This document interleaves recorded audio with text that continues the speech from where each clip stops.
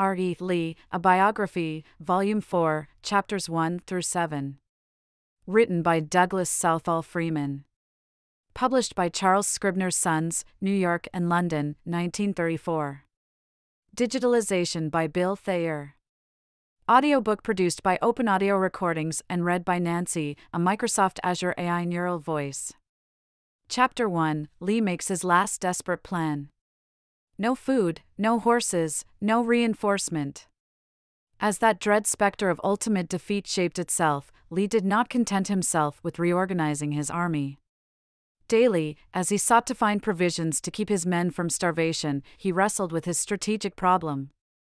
Early was still in the Shenandoah Valley, guarding the Virginia Central with a few shivering cadres and under orders to create the impression, if he could, that his command was formidable. Beauregard was seeking to muster a sufficient force to dispute Sheridan's advance up the coast. Bragg had some 6,500 effectives in eastern North Carolina. These were the only troops of any consequence left in the South Atlantic states, except for the Army of Northern Virginia.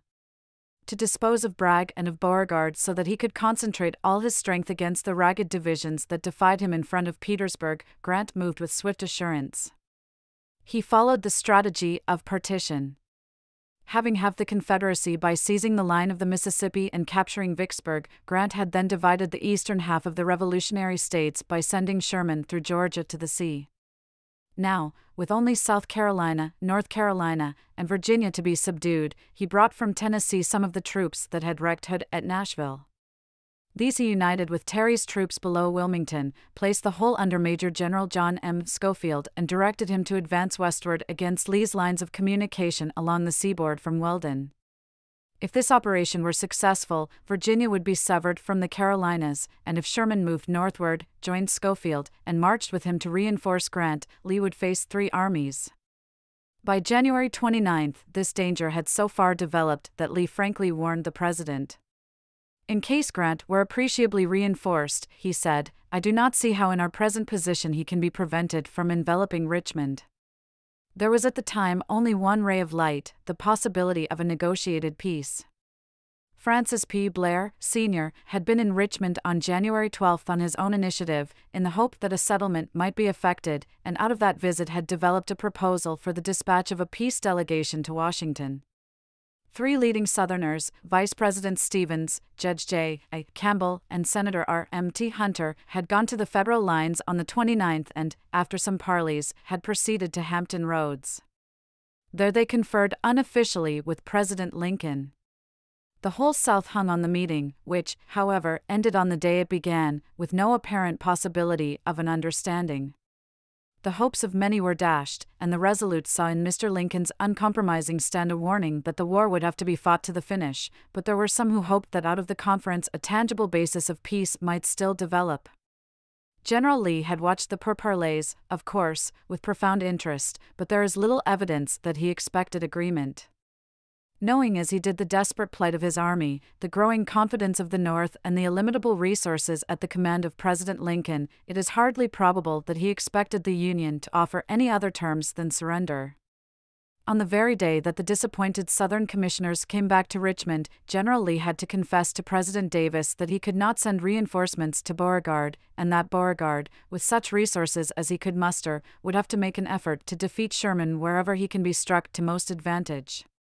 A little later, after he had seen the suffering of his hungry men during the operations of February 5 7 around Hatcher's Run, he again put the Secretary of War on notice You must not be surprised if calamity befalls us. Long conference with Mr. Davis and the Secretary on February 1316 disclosed no way of averting that calamity. Lee had always refrained from discussions with politicians on subjects that affected his military duties, but he now thought the situation so desperate that he determined to see Senator R. M. T. Hunter, a personal friend and one of the commissioners who had conferred with Mr. Lincoln in Hampton Roads. Visiting Hunter one evening, he talked with him nearly all night of the outlook for peace. If Hunter thought there was any prospect of peace, otherwise than by surrender, it was Hunter's duty, Lee said, to propose it. The senator had what seemed to him the best of reasons for not doing so, and he explained them. He had been to the president, he confided, and had told him that if peace be had on any terms short of surrender, he should seek it. Davis had refused, and, as Hunter believed, had circulated a report that the senator had lost all hope of Southern victory and was in despair. Until this incident was cleared up, Hunter insisted he would confer no more with the president. Lee repeated his suggestion and added that if he himself were to propose peace negotiations publicly, it would be equivalent to surrender. Hunter agreed, but argued that if Lee thought the chance for success desperate, he should so advise the president. To this, Hunter wrote, Lee made no reply. In the whole of this conversation, he never said to me he thought the chances were over, but the tone and tenor of his remarks made that impression on my mind. He spoke of a recent affair in which the Confederates had repelled very gallantly an attempt of the Federals to break his line. The next day, as he rode along, one of the soldiers thrust forth his bare feet and say, General, I have no shoes. Another would declare, as he passed, I am hungry, I haven't enough to eat. These and other circumstances betraying the utmost destitution, he repeated with a melancholy air and tone which I shall never forget. While the administration refused to face the dread reality, Schofield became a menace. Sheridan was on the march. He entered Columbia, SC, on February 17 and forced the evacuation of Charleston that night. Lee watched him with eyes that saw all too plainly what his advance boded. He wrote on February 19, It is necessary to bring out all our strength, and, I fear, to unite our armies, as separately they do not seem able to make head against the enemy. I fear it may be necessary to abandon our cities, and preparations should be made for that contingency. The expedients of desperation were tried. Longstreet took advantage of a conference with the Federal General Ord to propose a conference between Lee and Grant in the hope that formal negotiations would eventuate. Richmond was frantic with excitement, at headquarters, hope fluctuated from day to day. Lee repeated that the unhindered advance of Sherman would mean the severance of communications with the South and would force the evacuation of Richmond. General Bragg, in North Carolina, was so discredited by previous failure in the field that he could not rally the people of that state. General Beauregard, retreating from Charleston, was in ill health. He found that the militia of South Carolina would not cross the state line and that they consisted only of men between 50 and 60 and boys under 17, who were soon exhausted on the march. There was the direst need of a coordination of these forces under some man who had the military confidence of the Carolinas. Lee knew that Johnston held the good opinion of the people and was, perhaps, the only man who could bring out the last reserves, if even he could enlist them. Mr. Davis had not put Johnston at Lee's disposal and, indeed, had not acted on a joint resolution of Congress requesting him to restore Johnston to command of the Army of Tennessee.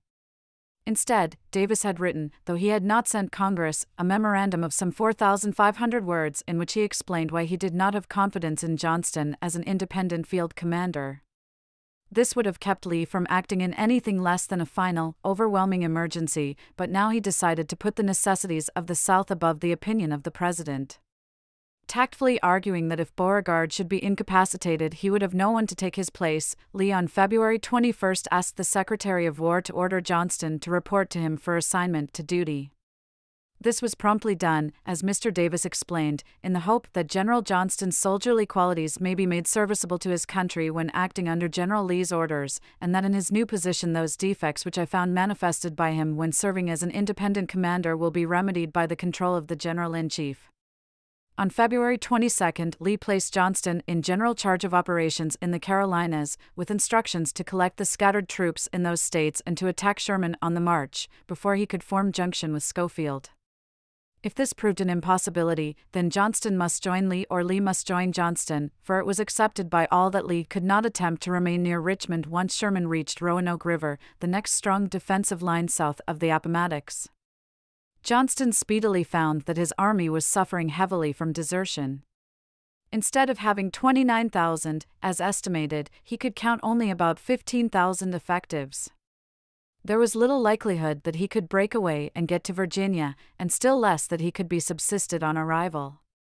By the harsh logic of elimination, Lee must prepare to leave the Richmond front and to move toward Danville to unite his army with Johnston's. Their one hope would be to strike Sherman, to destroy him, and then together to face Grant. As early as February 21, Lee had been planning to organize a base at Burkeville, the junction of the South Side and the Richmond and Danville railroads. Before the end of the month, the plan of a movement to Johnston was uppermost in Lee's mind. The coming of the blustery days of March found about 50,000 men under Lee's immediate command. It was a pitiful army with which to face such crushing odds, so pitiful that when Longstreet reported that he believed Grant would confer with Lee on a peace plan, the consent of the president was procured and a letter was dispatched to Grant on March 2, proposing an interview. Lee had no great expectations of a favorable answer. He wrote the president, I hope that some good may result, but I must confess that I am not sanguine. My belief is that he will consent to no terms, unless coupled with the condition of our return to the Union. Whether this will be acceptable to our people yet awhile, I cannot say. Was there a suggestion in that yet awhile that reunion was inevitable and, so far as he was concerned, not unacceptable as an alternative to the bloody finish of a hopeless war? 28. Whatever hope he may have cherished of a favorable reception of his proposal was probably destroyed the day he wrote Grant for on that same 2d of March, Sheridan attacked and overwhelmed the remnant of Early's little force at Waynesboro in the Shenandoah Valley. The Shenandoah Valley was irredeemably lost, and Sheridan was free to join Grant with his powerful mounted divisions. This news shook Lee to the depths. He wrestled with his conscience and his sense of duty. What should he do? his obligation to his government and to those half frozen soldiers who must soon be overwhelmed in the trenches if the war went on, which came first. Long he debated it, on the night of March 3, pacing the floor of his quarters at Edge Hill. Longstreet and Hill were both distant. He could not discuss his problem with them, but he must unburden himself. With whom should he talk? In desperation, though the hour was late and the night was blighting in its chill, he sent for John B. Gordon, who by this time was one of his most trusted lieutenants. It was two o'clock when Gordon arrived. In Lee's room, Gordon wrote, many years later, was a long table covered with recent reports from every part of the army. He motioned me to a chair on one side of the table and seated himself opposite me. He opened the conference by directing me to read the reports from the different commands as he should hand them to me, and to carefully note every important fact contained in them. The revelation was startling. Every report was bad enough, and all the distressing facts combined were sufficient, it seemed to me, to destroy all cohesive power and lead to the inevitable disintegration of any other army that was ever marshaled. Some of the officers had gone outside the formal official statement as to the numbers of the sick to tell in plain, terse, and forceful words of depleted strength, emaciation, and decreased power of endurance among those who appeared on the rolls as fit for duty. Cases were given, and not a few, where good men, faithful, tried, and devoted, gave evidence of temporary insanity and indifference to orders or to the consequences of disobedience. When I had finished the inspection of this array of serious fact, General Lee began his own analysis of the situation. Of his 50,000 men, only 35,000 were fit for duty, Grant must have 150,000, Thomas was sending 30,000 east. From the valley, said Lee, General Grant can and will bring upon us nearly 20,000, against whom I can opposite scarcely a vidette. Schofield and Sherman, between them, probably had 80,000, Johnston could only count on 13,000 to 15,000. Adding all the Union forces together, there would soon be in the seaboard states 280,000 Federal troops, to whom the Confederacy could oppose only 65,000.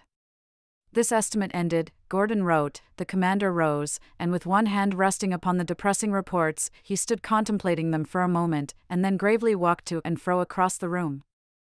He again took his seat facing me at the table and asked me to state frankly what I thought under these conditions it was best to do, or what duty to the army and our people required of us.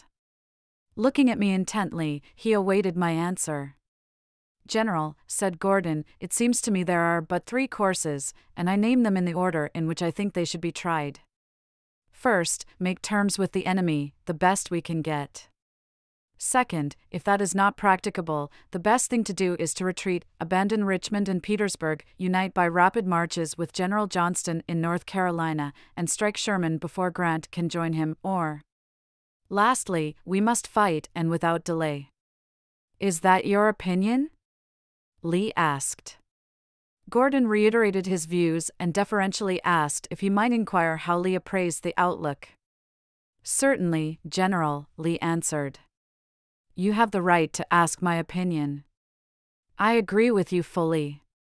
A long discussion followed, in which Lee explained that he did not feel that he, as a soldier, had the right to urge political action on the government. He did not tell Gordon that he had already written Grant, for that was a confidential matter between himself and the president, but at length, as Gordon argued that he should advocate peace negotiations, Lee said he would go to see the president the next day, which, as a matter of fact, he had already planned to do. Journeying to the capital the next morning, Lee doubtless reviewed with the president the possibilities of negotiating peace, but the discussion was probably cut short by the receipt of Grant's reply to Lee's letter of March 2. In this answer, Grant declined a meeting. I would state, said he, that I have no authority to accede to your proposition for a conference on the subject proposed. Such authority is vested in the President of the United States alone. Lee might have been willing to negotiate on the basis of a restoration of the Union, but if he canvassed this aspect of the subject with the President, he discovered quickly that Mr. Davis was determined to have the Confederacy go down in defeat rather than accept any terms that did not recognize Southern independence. The conversation then turned to the dark necessity of evacuating Petersburg and Richmond. The chief executive faced this dread event with unshaken courage, and, when Lee explained that he saw no alternative, Mr. Davis asked why Lee delayed. If the move had to be made, why should it not be undertaken forthwith? Lee replied that the condition of his animals was so reduced that they could not haul the wagon train until the wet and muddy roads had dried somewhat. Then the two debated the best strategy of the inevitable retreat. Hood had proposed that the Army of Northern Virginia make for Middle Tennessee, and Davis had forwarded Hood's letter to Lee for his criticism. Believing this course impracticable, Lee outlined the plan he was already formulating for a march to Johnston, a quick blow at Sherman, and then an attack on Grant. To accomplish this, he went on, it would be necessary to build up a week's reserve of food in Richmond, to accumulate depots of supplies along the South Side and the Richmond and Danville railroads, and to issue more corn to the horses even if this depleted the scant stock the quartermaster general had on hand. This gloomiest of all the interviews between Lee and the Confederate president occurred on Saturday. The next day, Lee worshipped at St. Paul's Church for the last time during the war, and then, bidding Mrs. Lee farewell, he returned to Petersburg. Gordon, of course, was anxious to know the outcome of the conference, but he found his chief under no delusions. Lee explained to the Georgian what had happened. He said, Nothing could be done at Richmond, Gordon subsequently recorded. The Congress did not seem to appreciate the situation. Of President Davis, he spoke in terms of strong eulogy, of the strength of his convictions, of his devotedness, of his remarkable faith in the possibility of still winning our independence, and of his unconquerable will power. The nearest approach to complaint or criticism were the words, You know that the President is very pertinacious in opinion and purpose. What, then, is to be done, General? Gordon inquired. Lee could only answer that they must fight. In preparing to fight, Lee had to balance one time element against another. He could not wait long, because Sheridan would soon join Grant, and when that happened, the overpowering Federal cavalry could be employed to break Lee's communications with the South and to prevent their restoration. On the other hand, the horses had to be conditioned, and the depots must be prepared, as Lee had told the President, so that the movement to join Johnston could be undertaken. The new Commissary General went vigorously to work building up the reserve that Lee needed. St. John estimated that 500 tons of commissary supplies had to be delivered daily in or near Richmond to subsist the army and to collect the special reserve of seven days' rations, which General Lee wished to be held subject to the order of his commissary. St. John affirmed that this delivery could be made if the military lines then occupied by the army could be held, and he did his utmost to make good his statement. The condition of the railroads was only too well known, St. John said in his final report. His assistant added, the means of transportation were constantly inadequate. Yet they contrived to improve the army ration, to fill sizable depots at Lynchburg, Danville, and Greensboro, and to lay down in Richmond most of the special store General Lee desired. Perhaps, in doing this, St. John drew on the last foodstuffs that could be purchased with depreciated Confederate money, but he made the immediate outlook for provisions better than it had been for weeks.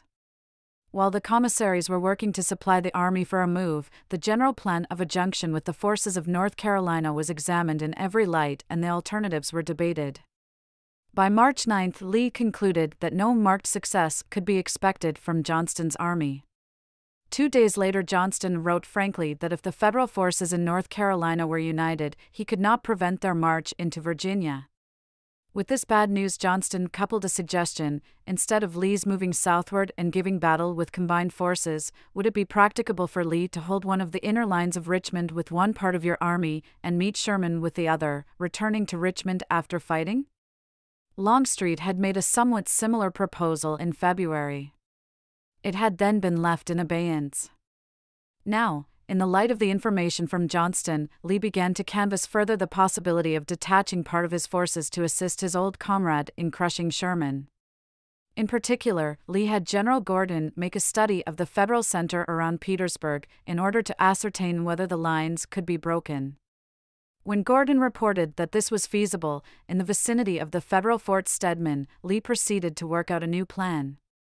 He was unwilling to risk a general offensive against the odds he faced in fortified positions because he felt that he should conserve his strength for the open campaign, but he believed that if Gordon could penetrate the Federal lines after an assault by about half the army, one of two things would happen.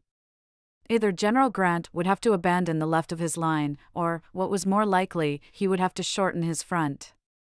This would make it possible for Lee to hold him with fewer men.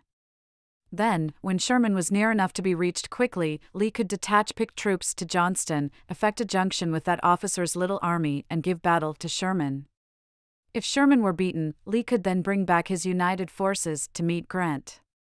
If Gordon did not succeed in breaking through the Federal lines, Lee would be in no worse plight for executing his previous general plan of joining Johnston with all his forces for it was plainer than ever by this time that the Army of Northern Virginia would have to leave the Richmond defenses it if quietly awaited Sherman's approach to unite his army with Grant's. Manifestly, the success of this revised plan was highly contingent. Everything depended on breaking the Federal front and on forcing Grant to shorten his line. But if this could be done, the plan, in obvious respects, was an improvement on Longstreet's and on Johnston's. It involved less risk to Richmond, it did not demand the impossible in the way of supplies, and it took into account, as Johnston had not, the very definite limitations on the mobility of the army, both by road and by rail. Lengthening march days brought no relief of any sort. Sheridan spread destruction over a wide area as he moved to rejoin Grant. Johnston's army proved to be weaker than the most pessimistic estimates. Then, ominously, on March 23, Johnston reported that Schofield and Sherman had met at Goldsboro. That town was equidistant 120 miles from Lee and from Greensboro, his main base of supplies in western North Carolina, and was only 110 miles from the nearest point on the Richmond and Danville Railroad. Sherman's course, Johnston telegraphed, cannot be hindered by the small force I have. I can do no more than annoy him. I respectfully suggest that it is no longer a question whether you leave your present position, you have only to decide where to meet Sherman. I will be near him. The dreadful hour was drawing on. Sheridan, Lee believed, had already joined the Army of the Potomac. Grant was visibly preparing to attack on the Confederate right and to deprive Lee of the initiative. The Confederate commander could wait no longer, even for his horses to gain strength or for the heavy roads to dry. That night, he gave his final approval to the plan for the attack on Fort Stedman. Chapter 2 Fort Stedman. March 25, 1865. Fort Stedman was on the high ground known as Hares Hill, at the crossing of the Federal lines and the Prince George Courthouse Road, three quarters of a mile southeast of the Appomattox. The place could boast of no particular strength. It had no bastion and immediately adjoined Battery 10, which was open in the rear. The terrain behind the fort was almost as high as the parapet. In the sketch that follows, the numerals represent the Federal batteries. The distance to Fort Stedman from the Confederate lines, at the point known as Colquitt Salient, was 150 yards, or probably less than at almost any other position on the whole of the defenses. Only 50 yards separated the pickets. The nearness of the fort, which made a surprise attack possible, was one of the reasons General Gordon selected Stedman as the object of his assault.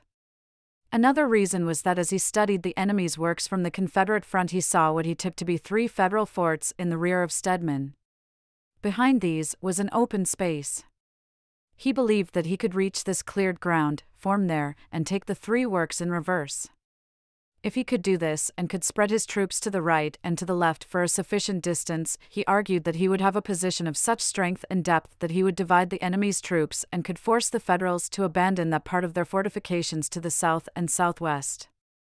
In this way, General Lee's immediate purpose would be served. The Federals would have to shorten their front, and the Army of Northern Virginia would have a lessened stretch of lines to defend. Troops could then be detached from Lee to help Johnston.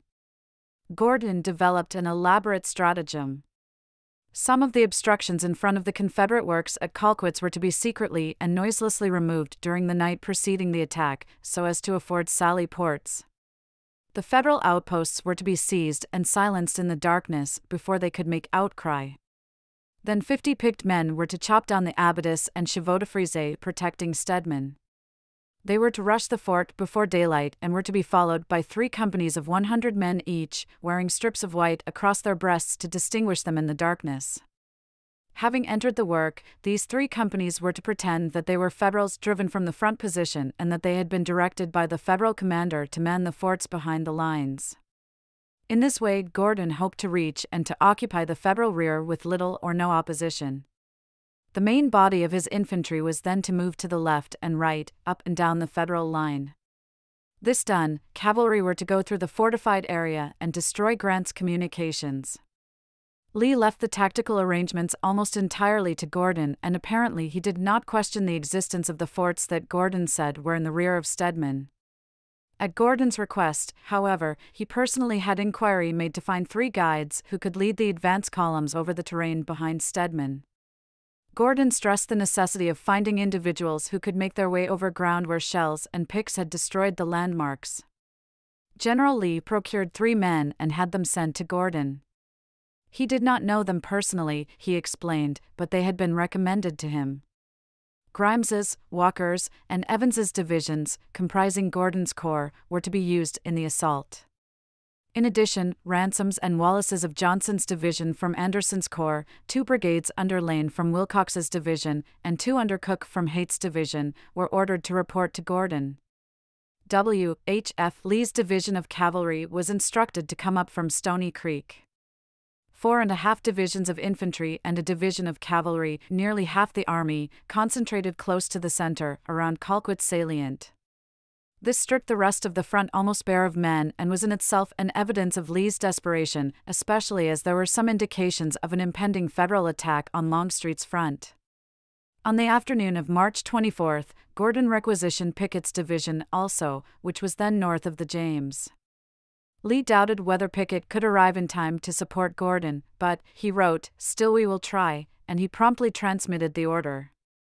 Other brigades could be brought up, he told Gordon, and disposed as needed. Showing none of the misgiving he must have felt over the employment of more than 50% of his available infantry on a single mile of his long, long front, he concluded his letter to Gordon with characteristic words I pray that a merciful God may grant us success and deliver us from our enemies he directed Longstreet to be prepared to attack on the north side of the James the next morning and to take advantage of every circumstance that would prevent the transfer of troops to the south side of the river. Before dawn on the morning of March 25, the day set for the assault, General Lee rode over from the Turnbull House to the hill in the rear of Colquitt Salient, where Gordon was standing ready to give the signal to the men who crowded the trenches beneath him. The chevaux de frise had been quietly removed at the designated sally ports, the pickets had crept forward and were ready to fall on the Federal outposts before they could give the alarm, the 50 axemen were at hand, the selected 300 were all duly marshaled and distinguished by strips of white cloth. Almost on the second, at four o'clock, a single rifle, fired by a private at Gordon's word, sent the troops forward. Lee could only wait on the hill and listen and hope. Very soon a message came from Gordon, who himself had followed the charging troops. The men were in Fort Stedman, and the 300 were on their way to the rear. The sound of the firing must soon have apprised Lee that the attacking columns had spread 400 or 500 yards on either side of the salient they had stormed. The next news was of another sort. The officers of one party, Gordon reported, could not find the rear forts, on the seizure of which the success of the whole enterprise depended. The guide had been lost. Another courier brought a similar report from the other advance parties. Then followed confused fighting, not much of which Lee could see. Soon it was apparent the Federals had rallied, were hurrying up reserves, and were pouring into Fort Stedman and the adjoining part of the line of fire that was holding up the advance. Lee saw that an attempt to storm the Federal redoubts would be risky and, even if not repulsed, would cost him heavily, so, about 8 o'clock, he ordered Gordon to withdraw to his own lines. As the disappointed troops made their way back, they came under a cruel fire that dropped hundreds in their tracks. The survivors had a grim and humiliating story to tell Marse Robert. The men had reached and had entered Stedman precisely as Gordon had planned. The main column had fought its way along the trenches on either side, but the selected 300 had failed to find the three forts in the rear for the all sufficient reason that these forts did not exist. What Gordon had taken to be supporting forts were, in reality, old Confederate works that had been occupied and lost during the fighting of the 15th 170th of June, 1864. Futile search for these fortifications and the return to Fort Stedman had caused confusion and had given the Federals time to rally in their well constructed works. Repeated attempts to storm Fort Haskell and Battery 9 had resulted in failure. From these works, from the reserve artillery on the hills in the rear, and from batteries 4, 5, and 8, a smothering fire had been poured into those parts of the line that Gordon's men had occupied. Except at a very heavy loss of life, it had not been possible to advance. To remain was useless in itself and involved continuing casualties, an extension of the line, and ultimate capture the officers of some commands found some men unwilling to cross the open ground between the lines and to return to their works. They preferred capture to running the gauntlet. And the failure of the attack was not all that had to be told. Immediately following the repulse of Gordon's assaults, and almost before the Confederates had returned to their works, the Federals advanced along the whole right of Lee's position nearly to Hatcher's Run and took the entrenched picket lines. In this counterstroke, they captured about 800 prisoners and held their ground against all attempts to drive them back to their main lines. The enemy was thus placed where he could advantageously launch a direct attack to break the Confederate front whenever he chose to do so. The total haul of prisoners at the picket posts and at Fort Stedman was 2783. The Union estimate of gross Confederate casualties of 4,800 to 5,000 was not greatly exaggerated. Lee waited till the worst was known, waited till it was plain he could hope for no advantage, and then, wearily, he turned Traveler's head toward the Turnbull house. He had not gone far when he met two horsemen approaching him. He identified them quickly and smiled at them. They were Rooney and Robert, who had ridden ahead of their division, which had been ordered to follow the hoped for advance of the infantry. The general thanked Rooney for coming so promptly on orders. His trooper son had ridden nearly 40 miles with half starved men and bare ribbed horses, and expressed his regret that the attack had not so developed that the cavalry could be used. Since then, wrote Captain Robert Lee, nearly two score years afterwards, I have often recalled the sadness of his face, its careworn expression. The general did not tell his sons what the failure at Fort Stedman implied. Sadly, he telegraphed Longstreet that Pickett would not be needed and that those of his men who had started from the north side should go into Camp around Chester. Briefly, he reported to the Secretary of War on the morning's events. He did not probe the reasons for failure or blame either Gordon or his subordinates, but in the events of the day he saw his plan destroyed utterly. I fear now, he wrote the President on the 26th, it will be impossible to prevent a junction between Grant and Sherman, nor do I deem it prudent that this army should maintain its position until the latter shall approach too near. Johnston, he went on, reported only some 13,500 infantry, a loss of 8,000 men, largely by desertion. At that rate of attrition, Johnston would not cross the Roanoke with more than 10,000, a force that would add so little strength to this army as not to make it more than a match for Sherman, with whom to risk a battle in the presence of Grant's army would hardly seem justifiable. Johnston estimated Sherman and Schofield at 60,000. Grant might have 100,000 and, Lee feared, did not have less than 80,000. Their two armies united, he said, would therefore exceed ours by nearly 100,000. Besides, if Grant wished to bring Sherman's army to him without a battle, he could easily maneuver in such a way that if Lee marched out to meet Sherman, the Confederates would have to fight both armies. Thus, Lee was thrown back on the plan of evacuating the Richmond line and of moving with his whole force to join the command in North Carolina. Even this plan was now modified by the fact that when Junction was formed, there would be no prospect of attacking and defeating Sherman alone, for Sherman would join Grant. As Lee had said when Longstreet proposed that Johnston be brought to Richmond, concentration by the Confederates involved like concentration by the Federals. The plan of a march to unite with Johnston was now complicated, also, by the arrival of Sheridan's cavalry after it had refitted at White House on the conclusion of a long raid eastward from the Shenandoah Valley. The approach of the premier federal cavalry had been assumed on March 17. On the very day of the attack on Fort Stedman, Fitz Lee had notified Longstreet that Sheridan, in his opinion, would be on Grant's left flank on the 28th or 29th. There were many indications by the 27th that Sheridan was moving to the south side of the James. The retreat from Petersburg must therefore begin. The sooner it was undertaken, the greater the prospect of eluding Grant. But there were obstacles, old and new, to a speedy withdrawal. Gordon's men needed rest for the recovery of their morale. The administration was not ready to evacuate Richmond. The roads were still excessively bad. Although what Colonel Taylor had guardedly styled the dread contingency had now become a foregone conclusion, even in his optimistic mind, Lee had to wait. He had sent pontoons forward, he had surveyed the ordnance stores, and he had prepared maps for the retreat, but, for the moment, all he could do was to strengthen the right flank, against which, rather than against Richmond itself, he had long believed the final attack would be delivered. In spirit, he could only repeat what he had written Mrs. Lee before the outlook had become quite so dark I shall endeavor to do my duty and fight to the last. Chapter 3 Five Forks A Study in Attenuation. March 29 to April 1, 1865. The week beginning March 27, 1865, was one on which the survivors of the Army of Northern Virginia were loath to dwell, because it was to them, in memory, the first stage of a gruesome nightmare, but to the student of war it is a most instructive period.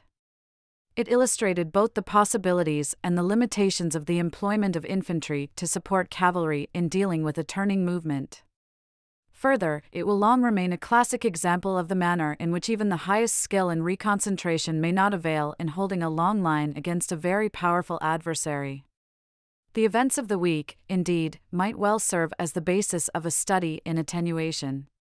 All Lee's intelligence reports on the 27th indicated that the anticipated federal movement was about to start and that it was directed against the upper stretches of Hatcher's Run. This meandering stream covered Lee's right flank. Rising some 15 miles west and southwest of Petersburg, it was not on the watershed of the Appomattox, but ran roughly parallel to that stream for about 7 miles from west to east, and then turned to the southeast to become one of the affluents of the Nottoway. Between Hatcher's Run and the Appomattox ran the Southside Railroad, one of Lee's two essential lines of communication, via Burkeville, with the fragment of the Confederacy not yet occupied by the Federals. The railroad, of course, was the prime objective of any attempt Grant might make on his left to drive Lee from Petersburg without a direct frontal assault. To reach the railroad, Grant's easiest course was to cross Hatcher's Run at a distance from Lee's lines, to march westward until he had reached a point beyond Lee's right flank, and then to strike northward. As the roads lay, this would carry Grant into a wooded country, cut by numerous small but troublesome watercourses, most of which were running high between muddy banks. The main features of the terrain as they affected Lee's military problem were as follows Grant's easiest crossing was at Monk's Neck Bridge. Thence the way to the South Side Railroad led by Dinwiddie Courthouse and by Five Forks, where Lee already expected Grant's troops to appear. This route was only 15 miles, say a march of a day and a half as the roads then were. To attempt to meet this advance by merely lengthening his front, Lee would be compelled to extend himself from the point marked with the encircled X to the, the encircled Y beyond Five Forks. This would be a prolongation of four miles, a distance Lee could not hope to cover adequately. Already he stretched this thin line almost as far as it would hold. On the 27 and a half miles occupied by infantry, he could count an average of only 1,140 men per mile. North of James River, he had as defenders of his left flank Fitz Lee's division of cavalry. This numbered about 1,800 mounted men and was distant two days' march from the endangered right. Next, the cavalry were Field's division of some 4,600 men and Kershaw's of 1,800. Their lines, which were fairly strong, extended slightly to the southwest of Fort Gilmer, two and a half miles from James River. It would take a minimum of 12 hours to get the leading brigade of either of these divisions to Petersburg. The only other forces north of the James were those around Chaffin's Bluff, namely a few field batteries, the heavy artillery units, which had very little transportation, the Virginia reserves, and the local defense troops. The artillerists were about 750 in number, and the total of reserves and local defense troops was 3,300, of whom about 1,100 were then on the lines. Altogether at this time, Lee thus could muster above the James a total of approximately 9,700 infantry, 1,800 cavalry, and 750 heavy artillery. Even to do this, he had to call out all the reserves and local defense units. Without utilizing the local defense troops, he could dispose about 7,500 infantry. Exclusive of the infantry, only Field or Kershaw could possibly be used to reinforce the right. Between the James and the Appomattox, on and adjacent to the Howlett Line, were some heavy artillerists, a small detachment of naval gunners, and Mahone's division of infantry, about 3,700 muskets.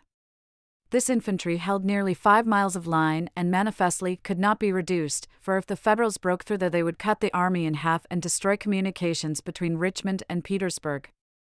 Gordon's Corps, with artillery support, occupied a sector from the Appomattox River just east of Petersburg to the point where Lieutenant's Run passed through the lines, directly south of Petersburg and about one mile east of the Petersburg and Weldon Railroad.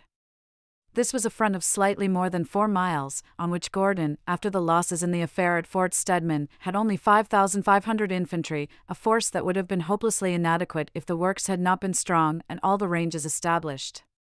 Beyond Gordon, in order from left to right, were Wilcox's and Heth's divisions of A. P. Hill's Corps, extending from Lieutenant's Run to the works covering the Boydton Plank Road at Burgess Mill on Hatcher's Run.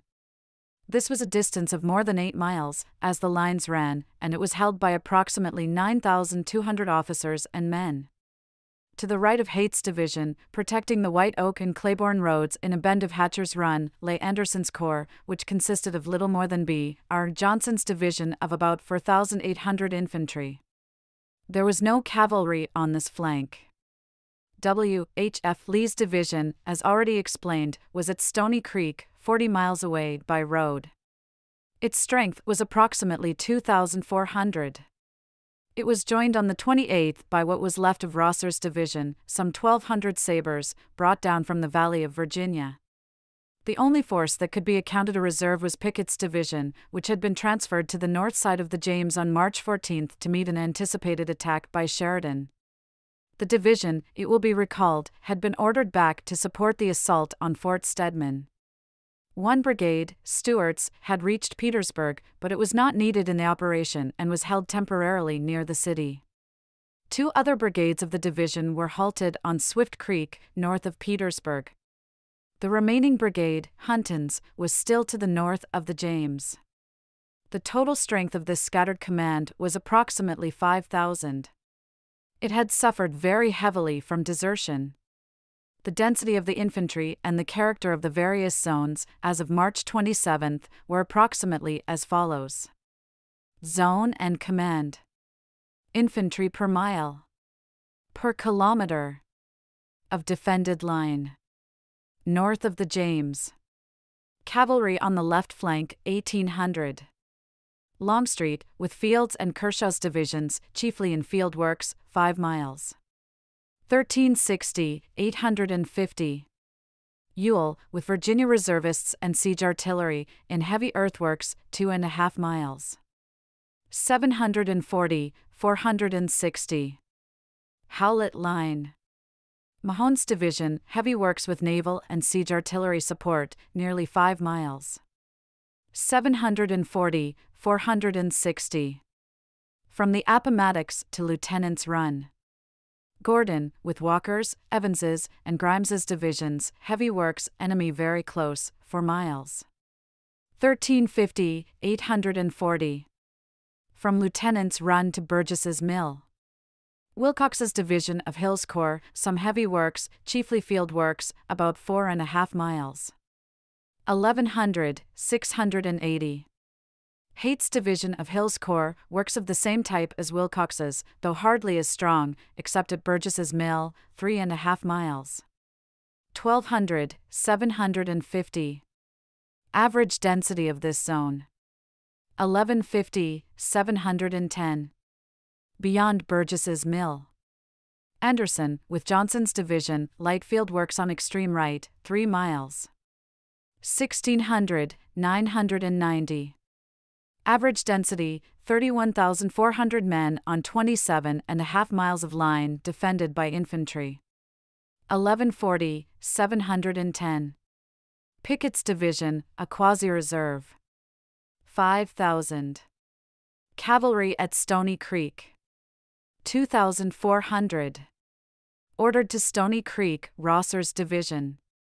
1,200.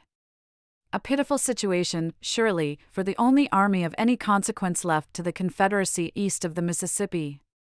What could Lee do with this scant force to meet the operation against his right? His first and obvious move, made on the 27th, was to transfer to that flank all the cavalry on the north side of the James, except Gary's brigade, which was left with Longstreet. From Stony Creek, of course, he could call up the rest of the cavalry when needed, and thus could concentrate all his mounted troops on his extreme right. These three small divisions, however, could not possibly suffice to stop the movement, for on March 28 the report was that Federal infantry and artillery were continuing the march in great strength toward their left. Lee must have suspected that these troops were from the north side of the James, for he telegraphed for information from Longstreet, whom he had cautioned five days before to be on the alert and to be prepared to release all the troops he could possibly spare. As a second step in his effort to protect his right, Lee executed the plan he had adopted at Longstreet's suggestion to support his cavalry attack with an advanced and quasi independent force of infantry. He knew he might have to increase this force, but he hoped if the enemy attacked he could do this without being compelled to draw troops from the line in such numbers as to make a break inevitable.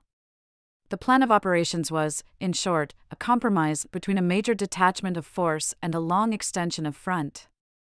Pickett's division was selected for this service with the cavalry, and arrangements were made to shift other troops down the line to the right as operations required. Curiously enough, there is no record of any preliminary discussion as to who should command the force intended for the defense of the right. It was on the 28th that Lee began to prepare for the movement of Pickett's division to the right. He delayed dispatching the troops only in order to assure himself that Pickett could be moved there without too great risks to the north side. He still had faith in his army, and he told the administration that he believed it would have 10 or 12 days in which to evacuate Richmond. During the forenoon of the 29th, Lee received word that hostile cavalry and infantry, there was no mention of artillery, had started a march southwestward from the Federal lines at Monk's Neck Bridge and had crossed Hatcher's Run. From the early reports, Lee was not certain of the immediate Federal objective. He made his dispositions at once, however, taking McGowan's brigade of Wilcox's division from its position on the line east of Hatcher's Run, he spread the other brigades over the ground McGowan had covered and moved him westward beyond Burgess's Mill. This arranged, Lee directed Pickett to move with the two brigades he had on Swift Creek, to pick up his 3rd Brigade in Petersburg and with these to go by train to Sutherland Station on the South Side Railroad, 10 miles west of the city. Rooney Lee's and Rosser's divisions of cavalry were ordered to join Fitz Lee's command on the extreme right. A glance at the map will show that a cavalry raid on the Richmond and Danville Railroad around Burkeville was almost as easy as a quick attack on the South Side Railroad east of that point. Consequently, Lee directed Pickett's other brigade, Hunton's, which was still on the north side of the James, to cross to Manchester, away from the congestion of the Richmond yards and the allurements of Richmond streets, and to be ready to follow the rest of the division, or, if need be, to go directly on the Richmond and Danville Railroad to protect the Burkeville district. While these orders were being issued, Fitz Lee rode into Petersburg and reported the arrival of his division, which had been started the previous day from the extreme left the commanding general told his nephew that Sheridan was in the vicinity of Dinwiddie Courthouse, was preparing to concentrate around Five Forks, and, in his opinion, intended to break up the South Side Railroad, which it was important to hold. Fitz Lee was to go there, where he would be joined by W. H. F. Lee and Rosser, and by supporting infantry. He was to attack Sheridan, the one best way to break up the raid. To ensure coordination among the cavalry divisions, which had not been under unified command since Hampton had left Virginia, Lee announced to his trooper kinsman that the latter was to take charge of the cavalry corps. No written orders were given Fitz Lee. He construed his verbal orders most strictly, as will presently appear, and he held General Lee's view of the situation long after the whole complexion of affairs had changed.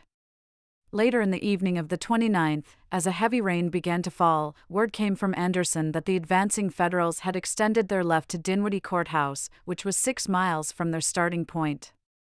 Anderson had sent out two brigades to meet the cavalry, who proved to be Gregg's, but had been unable to drive them back and had withdrawn to his works. This extension of the Federal left to Dinwiddie Courthouse, with no determined push northward toward the railroad, forced Lee to consider the possibility that instead of starting a raid, Grant was lengthening his line toward the southwest. The natural countermove, of course, would be a corresponding extension of the Confederate front, but was that possible?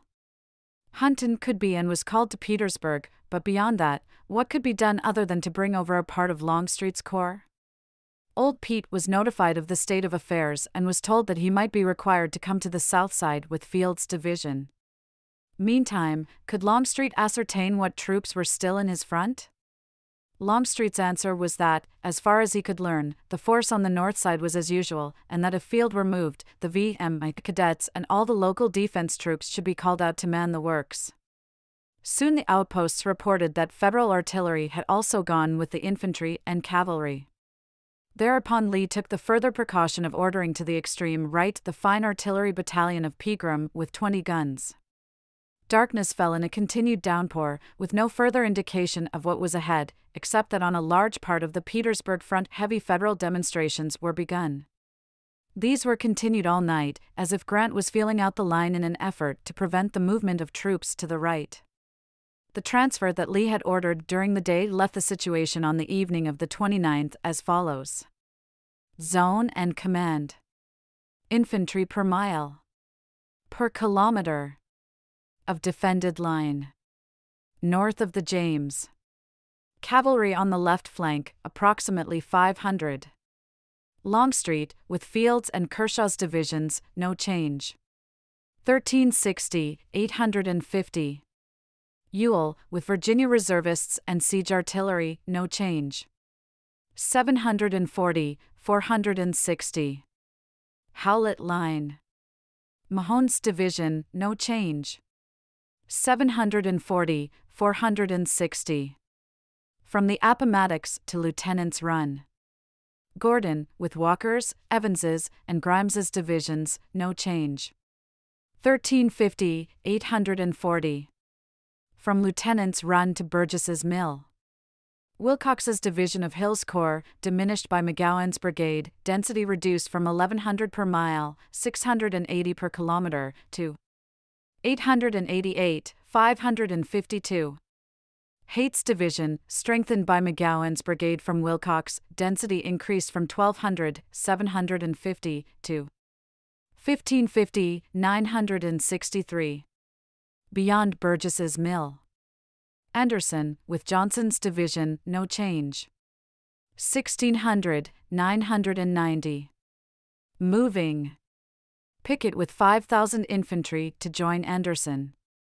Cavalry, 4,200 to right flank. Although no alarming news greeted Lee on the rainy morning of March 30th, he became convinced that he would have to strengthen his extreme right still more if he was to take the offensive against Sheridan. Any withdrawal from the line was, of course, exceedingly dangerous, but unless Lee was willing to have his right turned, what alternative was there?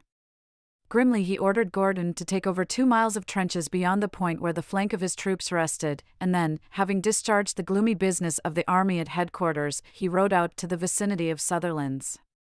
He found that Rooney Lee and Rosser had not arrived, but that Fitz Lee was advancing on Five Forks. Pickett had reached Anderson's headquarters and had reported to him on the night of the 29th. Lee promptly detached Pickett from Anderson and placed at Pickett's disposal Matt Ransom's and Wallace's brigades of Johnson's division, Anderson's corps, in addition to the three of Pickett's own division. Pickett was thereupon directed to march on Five Forks to seize the initiative and, with the cavalry, to march in the direction of Dinwiddie Courthouse for an attack on the flanking column of the enemy. Six of Pegram's 20 guns were to go within Pickett. The others were to remain at Burgess's mill. By these orders, Lee definitely set up the mobile force to protect the right flank, roughly 6,400 infantry and 4,200 cavalry. Having done this, all that he could do, Lee rode back to Petersburg.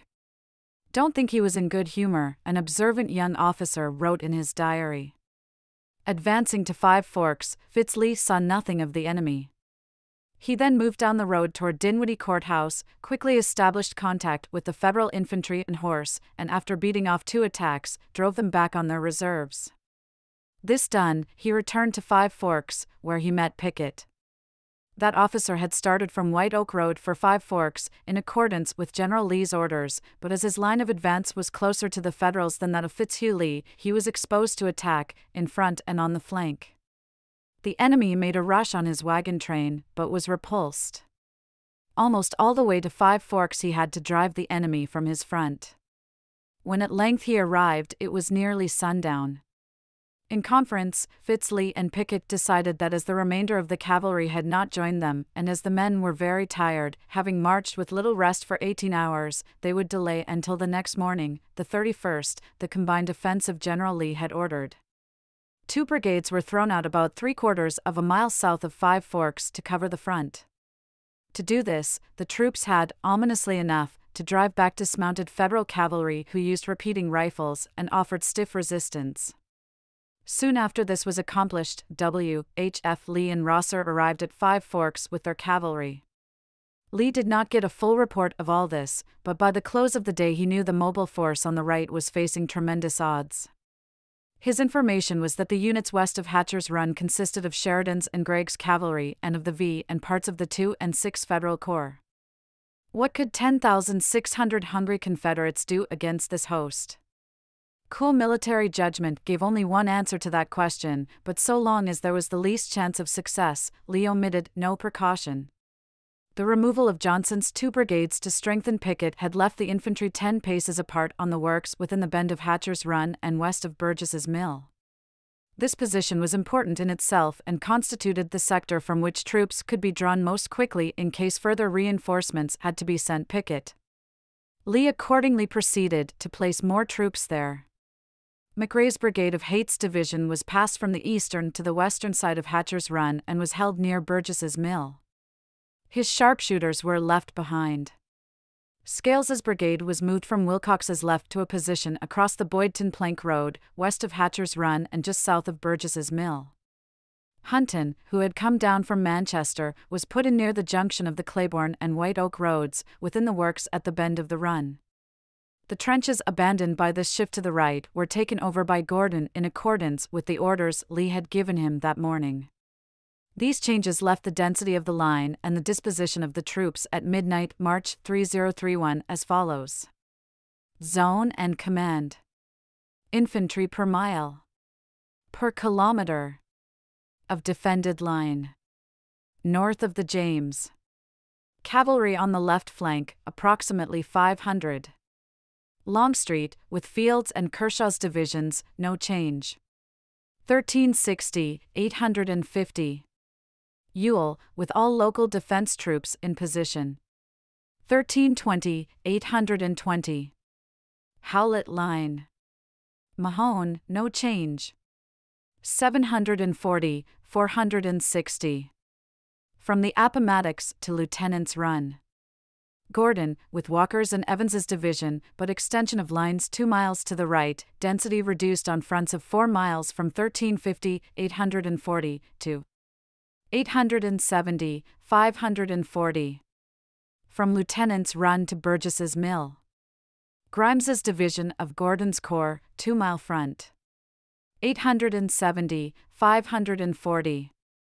Wilcox's division, further diminished by Scales's brigade but with line shortened to about two and a quarter miles. 1100, 684.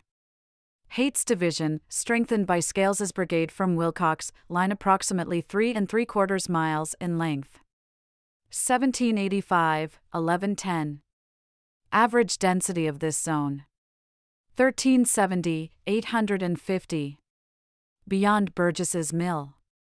Anderson, with Johnson's division, less Matt Ransom's and Wallace's brigades, but with Hunton's brigade of Pickett's division added, 3 mile front. 1200, 745.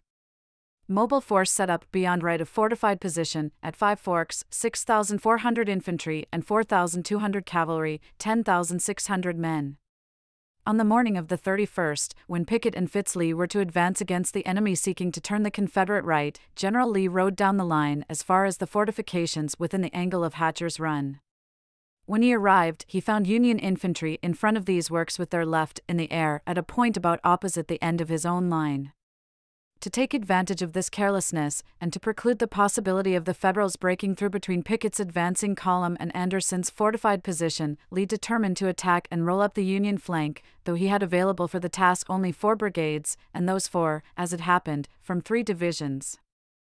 Major General B. R. Johnson had two of these brigades, Wise's and Moody's, formerly Gracie's. Johnson accordingly was put in command, under the general supervision of Anderson, who seems to have had little or no part in the action. McGowan's brigade, which was still close to Burgess's mill, was moved over until it became the extreme right brigade. Moody was on McGowan's left. Then came Hunton. Wise was on the ground, but not in line. The two right brigades were placed under McGowan, who was selected to deliver an assault, to turn the Federal left flank, and to drive the enemy across the front of the other brigades. It had been raining since about 3 a.m., and was still raining when Lee made the arrangements for the attack. McGowan waited for the downfall to cease and then moved quietly out. He was getting himself into position, almost directly across the left flank of the infantry, under Lee's own eye, when firing broke out farther up the line. A lieutenant in Hunton's brigade, seeing the enemy, had sprung forward, had called on his men to follow him, and had opened the fight without waiting for orders. McGowan had perforce to launch his attack at once. The action had not progressed far when Lee saw that Hunton might lose contact with the troops on the line toward Petersburg, so he ordered Wise's brigade, which was available, to take position on Hunton's left. These tactics were successful. The troops on the Federal flank were quickly doubled up and thrown back across a branch of a nearby stream, Gravelly Run. There the advance had to stop, however, as the Boydton Plank Road and strong Federal supports lay just beyond. Lee went with McGowan to the bank of the little watercourse, and after examining the terrain, he determined to hold it if he could. Dispatching orders to that effect to General Hunton, he tried to get up some artillery and, if possible, some cavalry. Just then, unfortunately, the left of the attacking forces began to waver in the face of a strong Federal counterattack. Lee had to consent to a withdrawal which, at the end of the day, brought the troops virtually back where they had been in the morning. On parts of the line to the left of the point from which the advance had been made, brisk skirmishing occurred, but nothing more. Despite the outcome, this valiant fight under his very eyes had a stimulating effect on Lee. When General Hunton returned from the fray, his scabbard had been bent almost doubled by a missile, and he had three bullet holes through his clothes. Lee greeted him briskly. I wish you would sew those places up, he said. I don't like to see them. General Lee, said Hunton, allow me to go back home and see my wife, and I will have them sewed up. The answer amused Lee. The idea, he replied, of talking about going to see wives, it is perfectly ridiculous, sir. Returning to the Turnbull house, Lee reported to the War Department the developments of the day. He had heard nothing from Pickett and Fitz Lee, and apparently he had caught no sound of their fire, but later in the evening he received news of what had befallen them while he had been directing the engagement in front of Anderson's corps. The troops around Five Forks had advanced southward toward Dinwiddie Courthouse, taking the initiative from the enemy. After a hard fight, they had driven back the Federals, who were so numerous that Fitzhugh Lee was satisfied they constituted the whole of the cavalry corps. Pushing on, the Confederates had come within about half a mile of the courthouse. Their darkness had halted them, and thence Pickett reported to Lee. The showing of the men had been admirable. There was nothing to suggest either exhaustion or any wavering whatsoever. The good showing made by his gallant old infantry on March 31 did not deceive General Lee. He realized on the morning of April 1 that the situation was increasingly critical, even though his troops had, as yet, been defeated nowhere on the right. In one of the last letters ever written in his autograph to the chief executive from the field, he explained the situation to Mr. Davis. By the extension of the federal lines to Dinwiddie Courthouse, he was cut off from the depot at Stony Creek, where, he reminded the president, forage for the cavalry had been delivered. It was more difficult to withdraw, for Sheridan's advance had deprived Lee of the use of the White Oak Road, which was one of the most important highways on his right. The enemy was on his flank and potentially in his rear and was in position, with superior cavalry, to cut both the South Side and the Richmond and Danville railroads. This, he said, in my opinion, obliged us to prepare for the necessity of evacuating our position on the James River at once, and also to consider the best means of accomplishing it, and our future course. There was no longer any hope, he left Mr. Davis to infer, that time would remain for a slow removal of supplies from Richmond. He would like to have the President's views, he concluded, but felt that his presence at his headquarters was necessary. If the President or the Secretary of War could come over for conference, he would be glad. Probably it was soon after he dispatched this letter, it certainly was not before, that Lee received a report from Pickett to the effect that he was being forced to withdraw from the vicinity of Dinwiddie Courthouse. This was bad news. As the Federals were certain to follow Pickett's withdrawal, every step of their advance would bring them toward Five Forks and thence, by what was known as Ford's Road, dangerously close to the South Side Railroad. The whole distance by highway from Dinwiddie Churches to the railway was only seven and one half miles, less than a day's march, even through such mud as at that season the armies had to encounter. If the railroad was to be saved, Pickett could not afford to give much ground. Lee accordingly wrote Pickett, hold Five Forks at all hazards. Protect road to Ford's Depot and prevent Union forces from striking the South Side Railroad. He added an expression of his regret that Pickett had been compelled to withdraw and could not hold his advantage. The one prospect of saving a desperate situation continued to be the possibility that Grant might in some way expose himself to attack. Lee proceeded to strengthen his position as far as practicable with artillery, on the sound principle that this was the first essential to a possible offensive in case Grant blundered. Pendleton was ordered to bring down to Petersburg a part of the reserve artillery and to dispose it behind the works held by Gordon, whose troops were very close to exhaustion, inasmuch as more than one half of them had to be continuously on duty. Beyond Gordon's flank, Pete Hill, who returned that morning from uncompleted sick leave, resumed command of a corps that was little more than a shadow of itself. All Gordon's troops, plus that part of Hill's forces east of the north and south stretch of Hatcher's Run, now numbered only about 11,000 men. They occupied, it could not be said they held, fully 11 miles of works, from the Appomattox River to Hatcher's Run. Lee knew that this attenuation of his line was a desperate gamble with ruin, especially at a time when Pickett was retreating, and when he received word, early in the day, that troops from the Ziv Corps had been captured, he was quick to act. This corps belonged to Ord's army from the north side of the James, and if the Ziv had been transferred and no other had taken its place, then Longstreet could attack the enemy and force Grant to send troops back to the north side, or else Longstreet could dispatch part of his command to strengthen the Petersburg front. A telegram presenting these alternatives to Longstreet was forwarded immediately. This done and the routine of the morning completed, Lee rode out again to the headquarters of Anderson's Corps to watch at first hand the developments there he found that the troops which had been in Anderson's front the day before had moved to the right, in the direction of General Pickett's front, but, so far as the records show, he heard nothing more from Pickett himself. While at the headquarters of Anderson's Corps, Lee received from Longstreet a reply to his telegram concerning the withdrawal of troops from the north side of the James.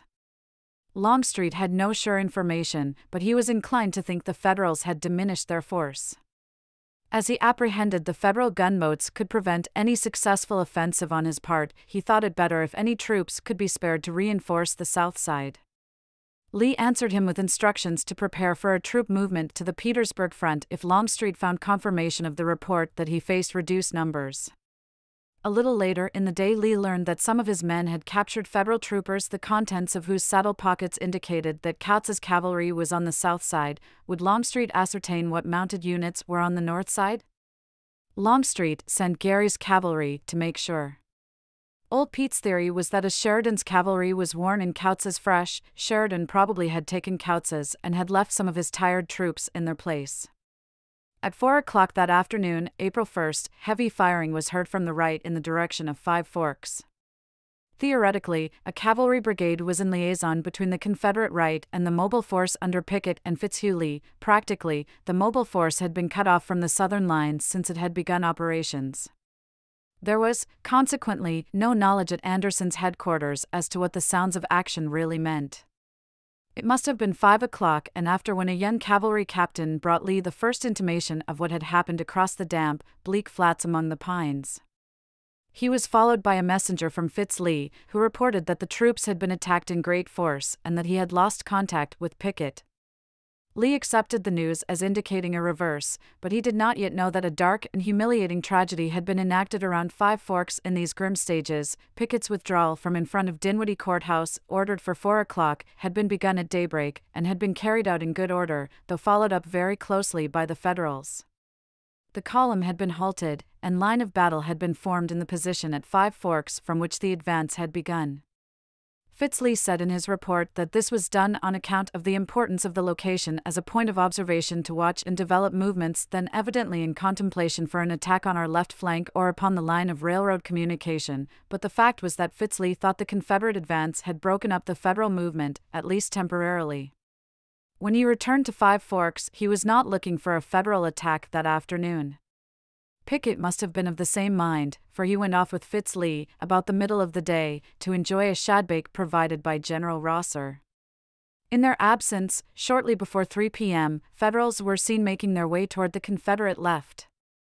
Soon they swept overwhelmingly down on the 6,000 infantry, who were badly placed and had very little artillery. Quickly, the Union troops turned the left flank of the Confederates and routed or captured a large part of them in a coup de main. The survivors retreated as best they could in the darkness to the South Side Railroad. There they were rallied. Thus, in two calamitous hours, the mobile force that Lee had established to protect his right flank was swept away and virtually ceased to be. The Federals reported the capture of 3,244 men and four guns. The casualties were not large compared with those Lee had sustained in some of his great battles, but they were a very considerable fraction of his diminished army. His most strategic position had been lost. Fought in accordance with the plans made by two subordinates, and without Lee's participation or knowledge of what was happening, Five Forks was only one scene removed from the dread denouement.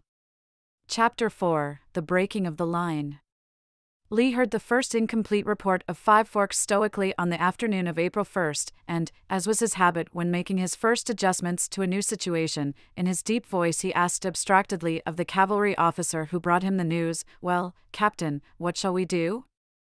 The best he could do was little enough, and it entailed new risks. He must reinforce the cavalry with other infantry in place of pickets. At 5:45, Bushrod Johnson was ordered, through Anderson, to proceed at once to Church Crossing, near Fords, and to support the cavalry. Forty five minutes later, Johnson moved with three brigades Wise's, Moody's, and Hunton's. This meant the virtual abandonment of that part of the line within the bend of Hatcher's Run. It meant even more, for as the few remaining units were spread out, they were so thinned as almost to be helpless. From Battery Gregg to Hatcher's Run, the men were from 10 to 20 feet apart, and at some points still farther. A single regiment of Scales's brigade and the sharpshooters of another, MacRae's, were all that could be put in the position that Wise's and Hunton's brigades had occupied. Lee's only chance of remaning the endangered, the all but abandoned works on the right was to bring Field's division of 4,600 men from the north side of the James. He now ordered this, most urgently, and directed that Longstreet come with Field's men. In the last struggle, he wanted near him that lieutenant, who, for all his stubborn self opinion, was the best corps commander he had left. Lee must have put the extremity of his plight into that order, the text of which has been lost, for as it was transmitted through channels, it had an ominous ring. It is important beyond measure, Longstreet's adjutant general wrote Field, that no time be lost. As Field's departure would leave only one division of infantry, a single brigade of cavalry, and some heavy artillery north of the James, the tocsin was sounded in the capital, and all the local defense troops, together with the state cadets, were ordered out to man the works below Richmond. Ewell reassumed actively his general command on the north side. Had Lee known early in the evening the full magnitude of the disaster that had befallen Pickett, he might have ordered the evacuation of the Petersburg line before daylight. Even as it was, with the enemy on his right flank and the river behind him, he must have ridden back to the Turnbull house in full knowledge that what little hope remained to him hung on the arrival of Longstreet before Grant assaulted. As compared with the state of affairs on March 27, here was the situation, in terms of the density of infantry, after Field started to move and the local defense troops took position. Zone and Command Infantry per mile. Per kilometer. Of defended line. April 1st, March 27th. North of the James. Cavalry on the left flank, approximately 500, on March 27, 1800. Kershaw's division, 1800, and 2,200 of Ewell's local defense troops and reservists not previously on the line. 600, 370, 1360, 850. Ewell, with other reservists, on a front of five miles, local defense troops and heavy artillerists on a front of two and a half miles. 740, 460, 740, 460. Howlett Line. Mahone's Division. 740, 460, 740, 460. From the Appomattox to Lieutenant's Run. Gordon, with Walker's and Evans's divisions. 870, 540, 1350, 840 from Lieutenant's Run to Burgess's Mill. Grimes's division of Gordon's Corps, 2 miles. 870, 540, 1350, 840. Wilcox's division of Hill's Corps, 2 and a quarter miles. 1100, 680, 1100, 680. Heth's division of Hill's Corps, diminished by casualties of March 31, approximately 250, and by MacRae's sharpshooters and one regiment of Scales's. 1565, 970, 1200, 745.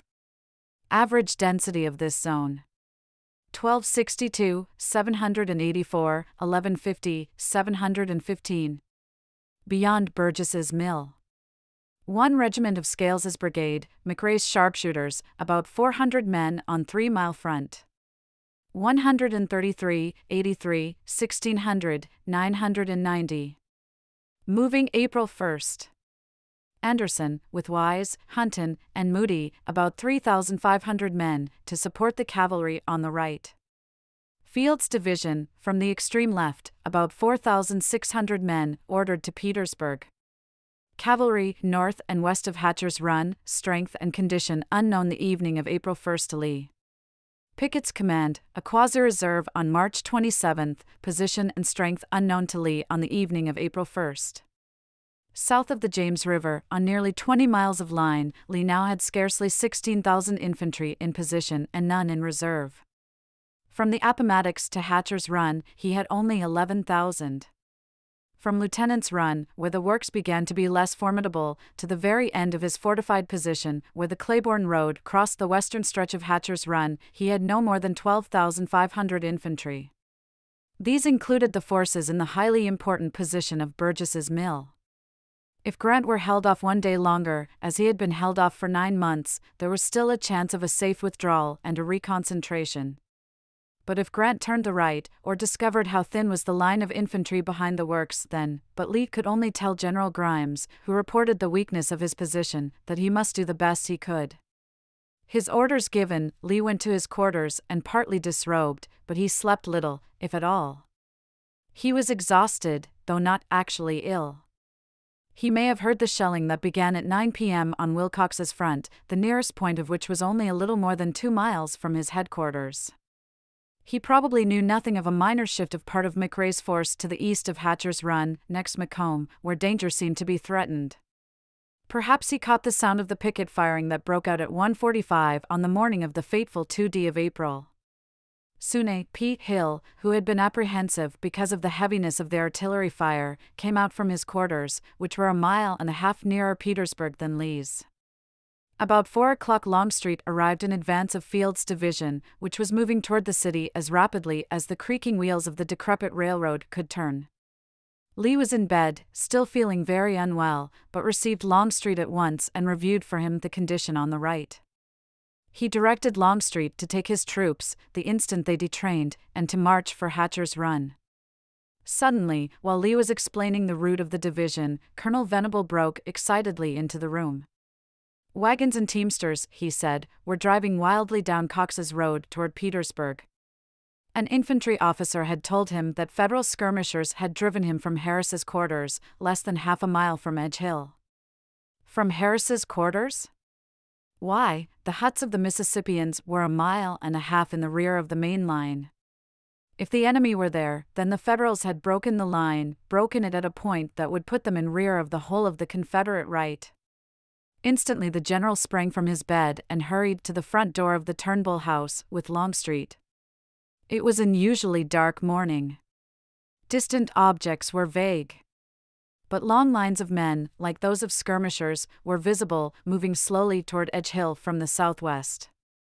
Were they retreating Confederates or advancing Union troops? Quick, Colonel Venable, mount and reconnoiter, and General Hill, but Hill was already running toward his horse. There must have been something desperate in the manner of Hill, for as the two hurried off, Lee called to Venable to caution Hill not to expose himself. Away they galloped. Other officers leaped into their saddles and sped after them. Couriers lashed their lean and frantic horses as they dashed away with orders.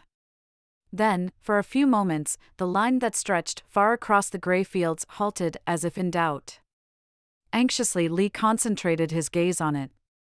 Soon, in the growing light, the color of the men's uniforms was visible blue. They were Federals.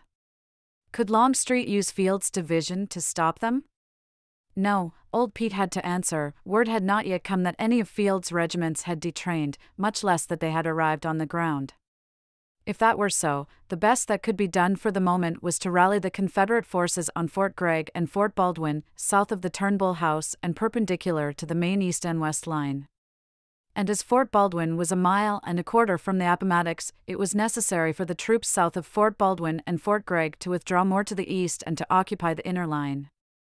In simplest terms, the general situation as then known to General Lee is sketched on page 46. Going back to his private quarters, Lee dressed quickly and prepared to leave the Turnbull house, which was directly in the line of the Federal advance. When he reappeared, he was in full uniform and had on his sword. Quickly he mounted his horse and rode down to the gate of Edge Hill and across the road, whence he had a good sweep of the country. He had not been there long, intent with orders for meeting the surprise, when a number of staff officers came up. Some of them were of Hill's entourage, and with them was Hill's dapple gray horse. But the commander of the Third Corps was not astride the animal. Instead, Sergeant G. W. Tucker rode him, Tucker, who was known throughout the Army as Hill's daredevil courier, the man who had asked permission in the Wilderness Campaign to go out to the skirmish line and kill a Federal cavalryman in order that he might get a horse to take the place of his own, which was dead. Tucker had no jest in him now. With heavy heart, he told how Hill and himself had ridden on after Colonel Venable had left them, and how they had encountered two Federals who had answered their call for surrender with rifle shots. Hill had been hit and had toppled out of his saddle. Tucker had seen him on the ground, motionless, had caught his horse, and had changed to it because the gray was fresher than his own mount. Lee listened intently. Grief showed itself in a sharp change of expression. Tears came to his eyes. He is at rest now, he murmured, and we who are left are the ones who suffer.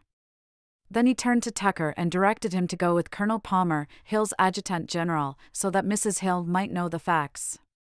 Colonel, he said to Palmer, break the news to her as gently as possible. To Major General Heth, Hill's senior division commander, Lee dispatched the grim announcement, with orders to report at once in person.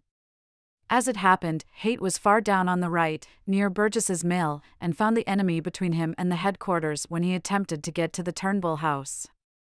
As he failed to appear, Lee put the Third Corps under Longstreet. After the first eruption of the Federals, there was a period of comparative calm west and southwest of Edge Hill. The tide of blue seemed, indeed, to be receding rather than advancing. It was probably at this time, though it is not certain, that Lee learned what had happened. Further fact, of course, sifted in with the hours. The Federals had started bombardment during the night and at 4:45 had assaulted along nearly the whole of the line from the Appomattox River on the Confederates' left, far around to the right on Hatcher's Run. The assaults had three aspects. On Gordon's lines, from the river to Fort Gregg, the enemy had gained the first line easily, but had there met with resistance of the most stubborn sort. At the very time that Lee was getting information of this, Gordon was counterattacking as vigorously as he had that day at Bloody Angle. On his front, though the Federal advance could of course be pressed till the rear line was overrun, there was no immediate danger. Southwest of Fort Gregg, where the lines turned away toward Hatcher's Run, the assault had a second aspect. Thomas's and Lane's brigades of Wilcox's division, who occupied that part of the front, had simply been overwhelmed. Coming through at a little ravine below the Banks house, opposite the Federal forts Fisher and Welch, at a point two miles southwest of the Confederate Fort Gregg, the van of the Federals had pushed due north to the Boydton Plank Road and beyond. These were the troops that had first been seen from Lee's headquarters. Two soldiers had actually gone half a mile farther to the South Side Railroad, where they had torn up a couple of rails. Most of Lane's and Thomas's men, and a few from Heth's division, falling back in front of the Federals and counterattacking more than once, had been ordered by General Wilcox toward Fort Gregg. Some of them had gone the opposite way, toward the right. The Federals had turned in that direction much more heavily than to the Confederate left center and were sweeping down the Boydton Plank Road and along the works towards Hatcher's Run. Near that stream, the assault took on its third aspect. The fog had hung heavily along the run and had prevented a frontal assault at 445. After 7 o'clock, this fog had lifted and the Federals had gone forward. They first reached the line at a point about three miles southwest of the other break and just to the east of Hatcher's Run at the first crossing of the Confederate lines over that stream. The Federals met with little resistance here and captured Davis's brigade and part of Macom's, both of Heth's division. The Confederates around Burgess's Mill, on the other side of Hatcher's Run, got away, Cooke's, Scales's, McGowan's, and a part of MacRae's brigades. They marched northward to the South Side Railroad at Sutherland Station, whither Anderson had gone and where Pickett had orders to join him. The Federals who had turned toward the Confederate right, after the breakthrough on Lane's front at the Banks House, soon met those who had marched into the Confederate works on Hatcher's Run. There was a halt as the lines were reformed. Then a large part of the combined forces turned back toward Petersburg. Lee did not have all this detail in the early morning, but he knew that the troops on Hatcher's Run were cut off from him, and he could see that beyond the right of Fort Gregg he practically had no line. About the same time, presumably, Lee got his first full news of the magnitude of the disaster to Pickett the previous evening, though he had heard from the cavalry and knew something of it. Calamity was piled on disaster. Lee's situation now presented two obvious problems. One was to hold Petersburg until night and then to get out with the troops still on the lines. The other problem was to effect a new concentration with the forces cut off on the right, which forces he could not now help in their efforts to escape. He was not certain, shortly after 10 o'clock, that he would be able to maintain his position until night, and he saw no prospect of doing more, but he determined, if he could hold out that long, to evacuate the whole front as soon as darkness fell, and to reconcentrate on the Richmond and Danville Railroad. In a few minutes of relative quiet, he dictated to his adjutant general a telegram for the Secretary of War, reviewing the facts, outlining his plan, and concluding significantly I advise that all preparation be made for leaving Richmond tonight. I will advise you later, according to circumstances. Taylor, in his turn, probably from his rough notes, dictated this fateful message to the telegram operator, who sent it directly to the War Department in Richmond, where it was received at 1040. This was the dispatch that was carried to President Davis in St. Paul's Church, Richmond, during the morning service. He read it, got up quietly, and left the building. About the time Lee sent this warning to the president, General Gordon forwarded a report of conditions on his front. He had met the enemy's assaults with local counterattacks, he said, and was preparing a larger operation. As this would be costly of life, he asked whether General Lee's future movements depended on the recapture of his original line. Lee sent back answer that the enemy's gains on the right would necessitate a withdrawal and that Gordon should sacrifice no more men needlessly, but should close the breach the Federals had made in his line and should be prepared to quit at nightfall. Thus far, Lee had maintained his equanimity. when a staff officer came up, asked some question of one of his subordinates, and formally saluted the general, Lee raised his hat in acknowledgement and gave the answer in a voice entirely measured and composed. He was self contained and serene, wrote Colonel Taylor, and he acted as one who was conscious of having accomplished all that was possible in the line of duty, and who was undisturbed by the adverse conditions in which he found himself. New tests of his self control lay ahead, for the Federals, who had been inactive and had almost disappeared after their first rush toward the Turnbull House, began to move forward again. Their evident purpose was to storm or mask Fort Gregg and Fort Baldwin and to close in north of these works, past Lee's headquarters, to the Appomattox River. Shell began to come over. One of them went through the house itself. Federal infantry were massing. Assaults were brewing. Guns that Lee had ordered down from the Howlett line the previous day had gone into action nearby, some of them in the garden of the Turnbull house. They were served under Lee's eye in a manner to win the enemy's praise, and they seemed to hold up the Federal flanking movement. Soon Taylor and the telegraph operator were leaving the house. Musketry fire was mingling with the shell. Even the artillery was about to withdraw. Lee himself must turn his back on the enemy and go within the inner lines carefully sending away a chair he had borrowed, and manifestly unwilling to start, he remained until the enemy was so close that Traveller had to be put to a gallop. This is a bad business, Colonel, he said to one of his staff, in a tone still untroubled. Ere long the Turnbull house was aflame, by design, he thought, and much to his regret. A little way, and he reined in his grey, but evidently his cavalcade had been seen and recognized, for the Federals pursued it with a hot fire. Soon a shell exploded only a few feet behind, killed a horse, and scattered fragments. Lee's face became flushed as it did when he was angry, he turned his head over his right shoulder, and his eyes were gleaming. He wanted to charge his pursuers, but he quickly recovered himself and rode through the inner line, where a thin, scratch force received him with cheers as warm as those of that great high noon of his glory at Chancellorsville. Well, Colonel, he is said, perhaps apocryphally, to have told one of his officers, It has happened as I told them it would at Richmond. The line has been stretched until it has broken. Now came one of the most dramatic incidents of an overwhelming day.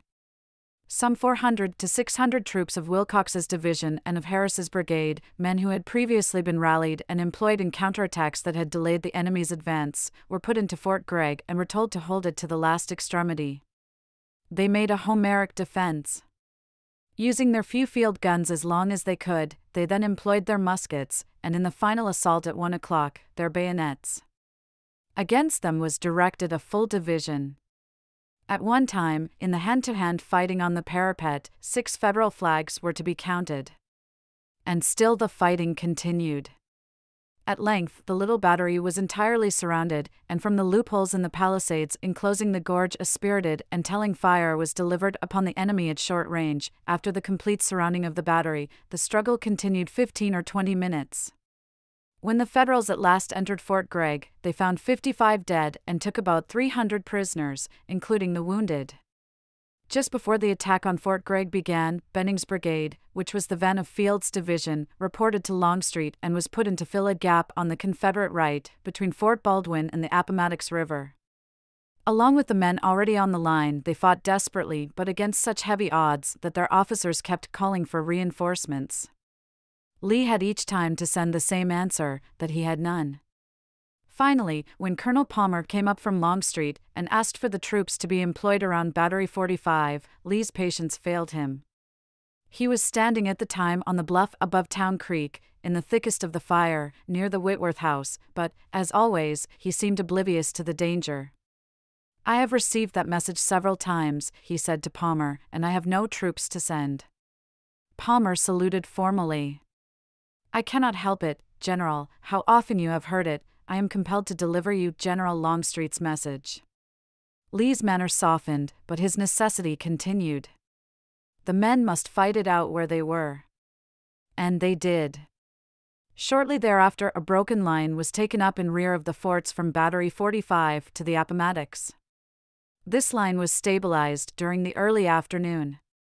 As soon as he was reasonably sure that he could hold Petersburg until nightfall, Lee went to the McIlwain or Dupuy house, one mile from the city, and proceeded to arrange the details of the evacuation.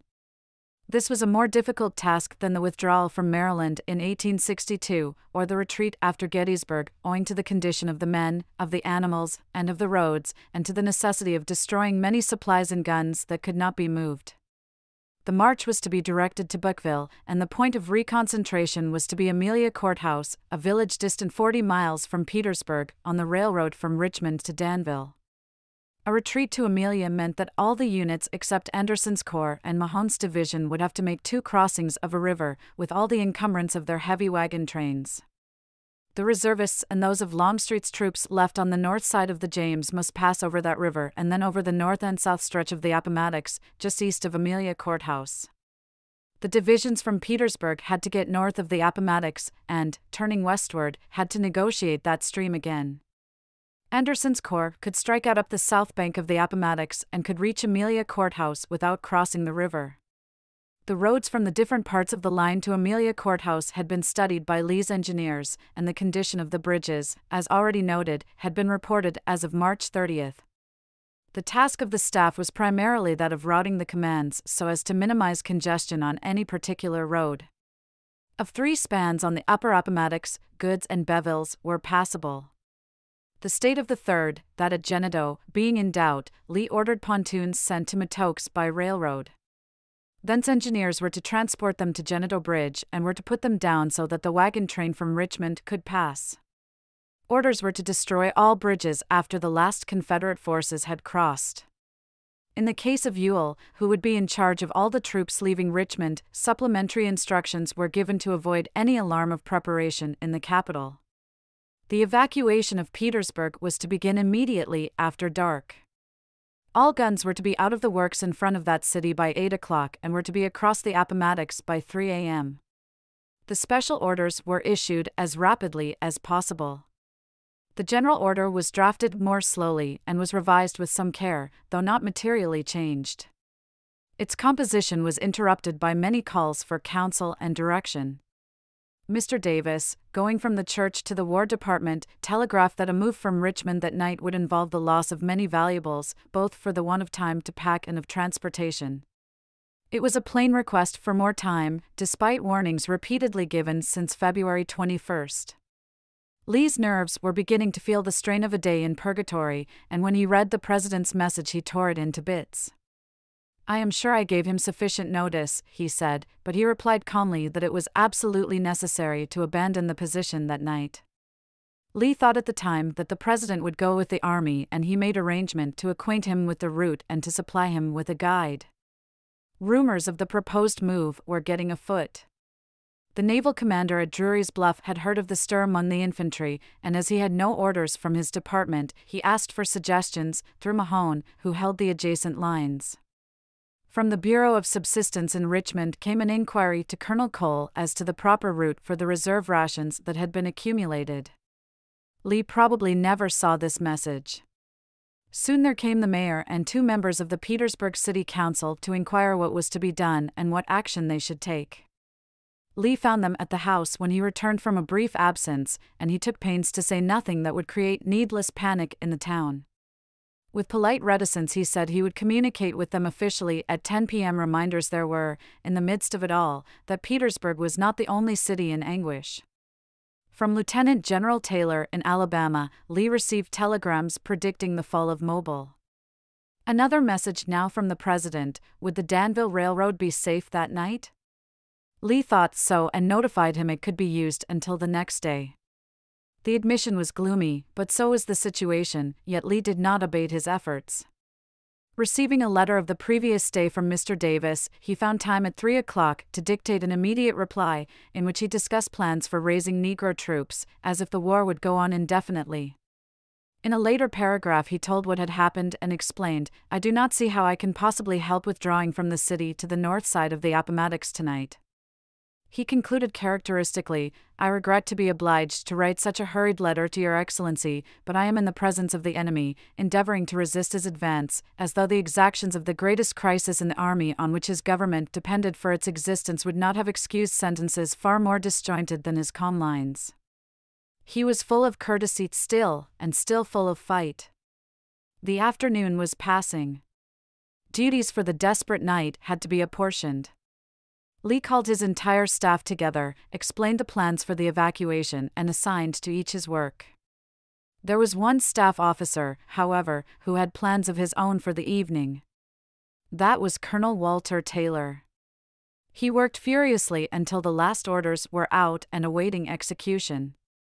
Then he came to Lee and preferred as strange a request as ever Adjutant General put forward on the day of a general troop movement would the General excuse him that evening and permit him to go over to Richmond? He would overtake the army early in the morning, but tonight, tonight he wanted to get married. He explained that the home of his affianced was within the enemy's lines and that she was alone in Richmond, working in one of the government offices, and wished to follow the fortunes of the Confederacy if the front should be restored farther south. Thereupon General Lee, said Taylor, promptly gave his assent. Thus it came about that on the night when the whole army was to move, and over strange roads, Lee acted as his own adjutant general. When the dreadful day ended, the lines were still holding. The enemy's attacks had died away, as if Grant knew that the morning would yield him the city without the shedding of more blood. Lee sent the last word to the War Department it is absolutely necessary that we abandon our position tonight, or run the risk of being cut off in the morning. I have given all the orders to officers on both sides of the river and have taken every precaution that I can to make the movement successful. It will be a difficult operation, but I hope not impracticable. In the spirit of that final statement, soon after night fell, the troops began quietly to move out of the city. Lee mounted Traveller and passed over the bridge to the north side of the Appomattox for the last time as a soldier. He was next to see Petersburg as a silent guest at a wedding party, in the midst of gaiety depressed by the memories of a suffering city, of a starving army, and of a dying cause. His heart was heavy, but his manner was calm as he rode to the mouth of the Hickory Road, where Gordon was to take the right fork and Longstreet the left if they slipped successfully away from their positions. Lee drew rein between the forks and in person superintended the movement. In darkness, the columns pressed on, with no drum for their step, no word from the sergeants. Their march was to the growl of the Federal guns on the lines and to the groan of heavily laden wagons. The different commands could not be distinguished in the blackness. Pickett was not there, nor Johnson's division, nor Kershaw's, nor more than a fragment of Heth's or of Wilcox's. Mahone was moving by a different road. But the ghosts of others walked the night Perry's Alabamians, Benning's Georgians, and that glorious old Texas brigade that Hood and then Gregg had commanded. There was the remnant of Rodes's division and there the wreck of Early's, with what was left of the renowned Stonewall Brigade. Lee waited till the rear was well closed up before he rode on. Chapter 5 The Threat of Starvation when he evacuated Petersburg on the night of April 2, 1865, Lee had with him probably not more than 12,500 infantry, fewer men than in any of the five Federal corps on the south side of the James, and on the whole of the front he had only from 28,000 to 30,000 infantry moving or preparing to move. After the heavy losses on the right on April 1 and the casualties sustained in the Federal assault of April 2, he could not have mustered even that number had not the local defense troops and many of the detailed men and convalescents quit Richmond and joined in the retreat. Not all of these, of course, were efficient troops. Nor, for that matter, could all the units of the veteran army itself be accounted fit. Wilcox's and Heth's divisions, two of the largest in the army, had been shattered and divided. Pickett's had almost ceased to exist. Johnson's was worn by long service in the trenches. For stiff fighting the next day, in case he was immediately pursued, Lee could have relied only on Field's division of Longstreet's corps and on Gordon's small and weary corps. Of the troops ordered to join Lee at Amelia Courthouse from quiet sectors, two divisions and no more than two, Mahone's and Kershaw's, were in good condition, and Kershaw's was very thin.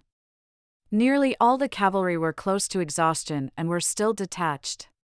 The only exception was Gary's small brigade, which was to accompany the infantry from the north side of James River. The artillery counted about 200 guns, some of them on weak carriages, pulled by feeble horses in rotten harness. The wagons exceeded 1,000, most of them with four animals. When the trains were fully spread out, they occupied 30 miles of road, heavy impedimenta for an army whose escape required speed. Despite all this, the start was auspicious.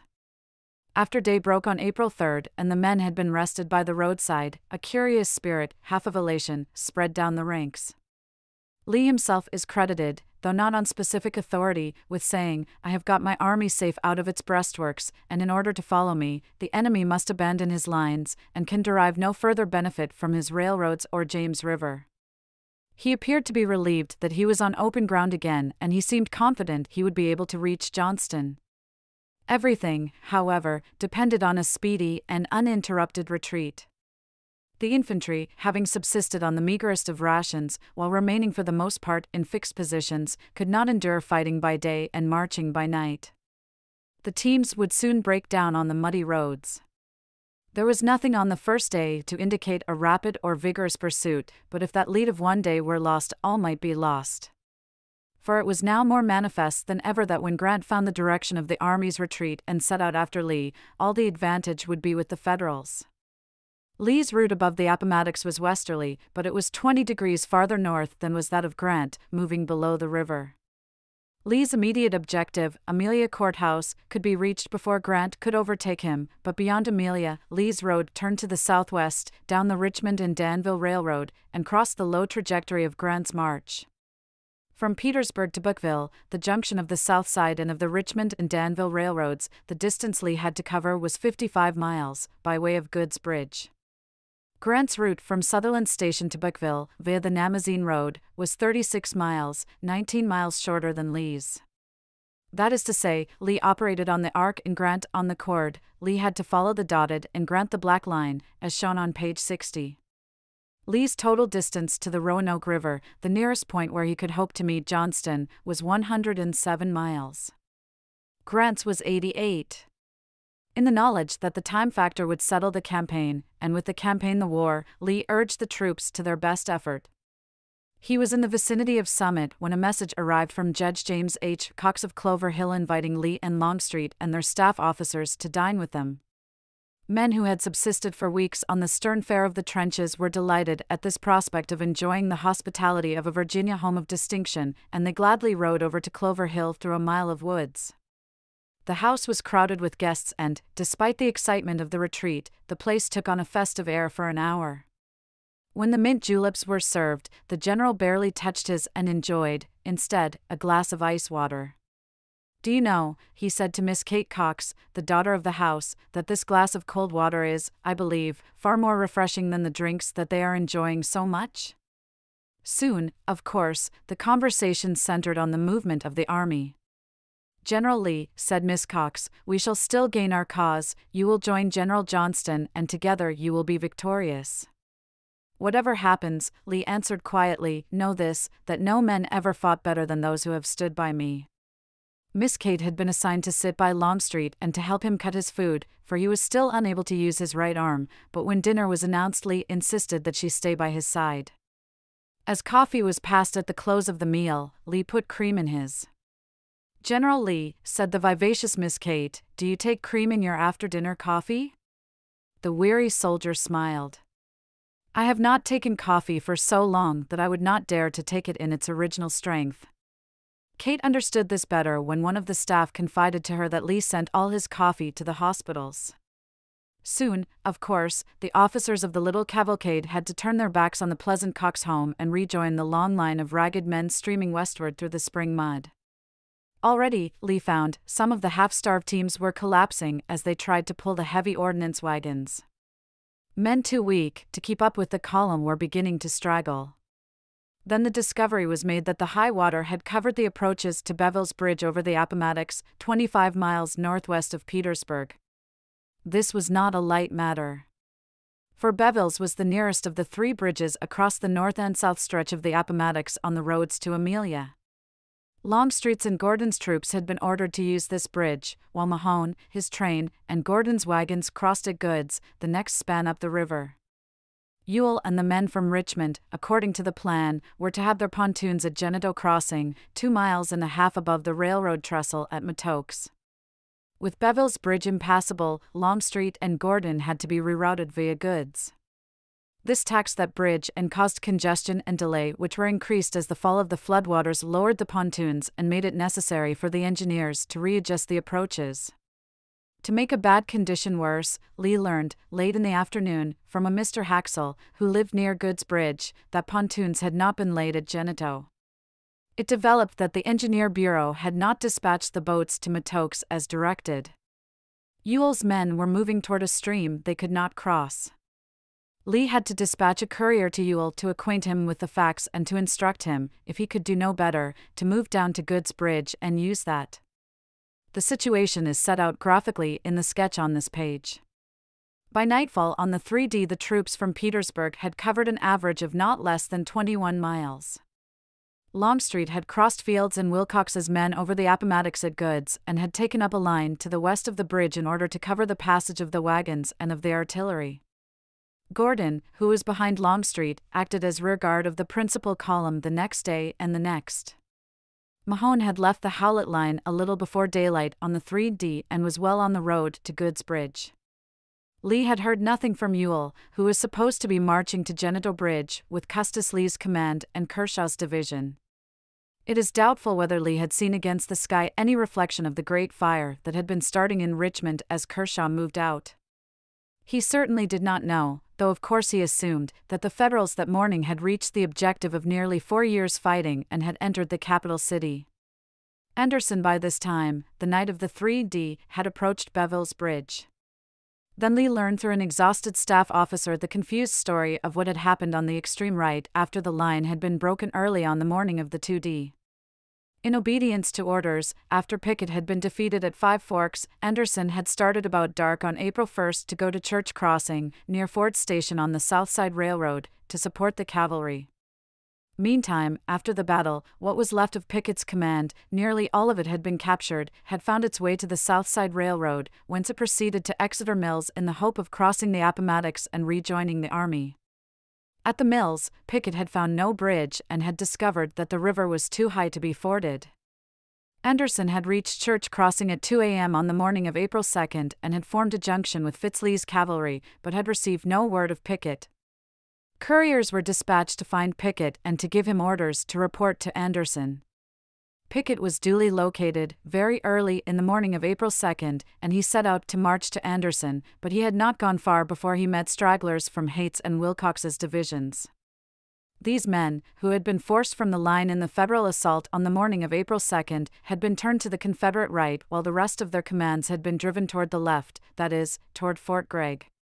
Pickett subsequently stated that he ascertained from these men what had happened and that he decided to continue up the river and join Anderson, who, as he learned, was moving toward Amelia Courthouse.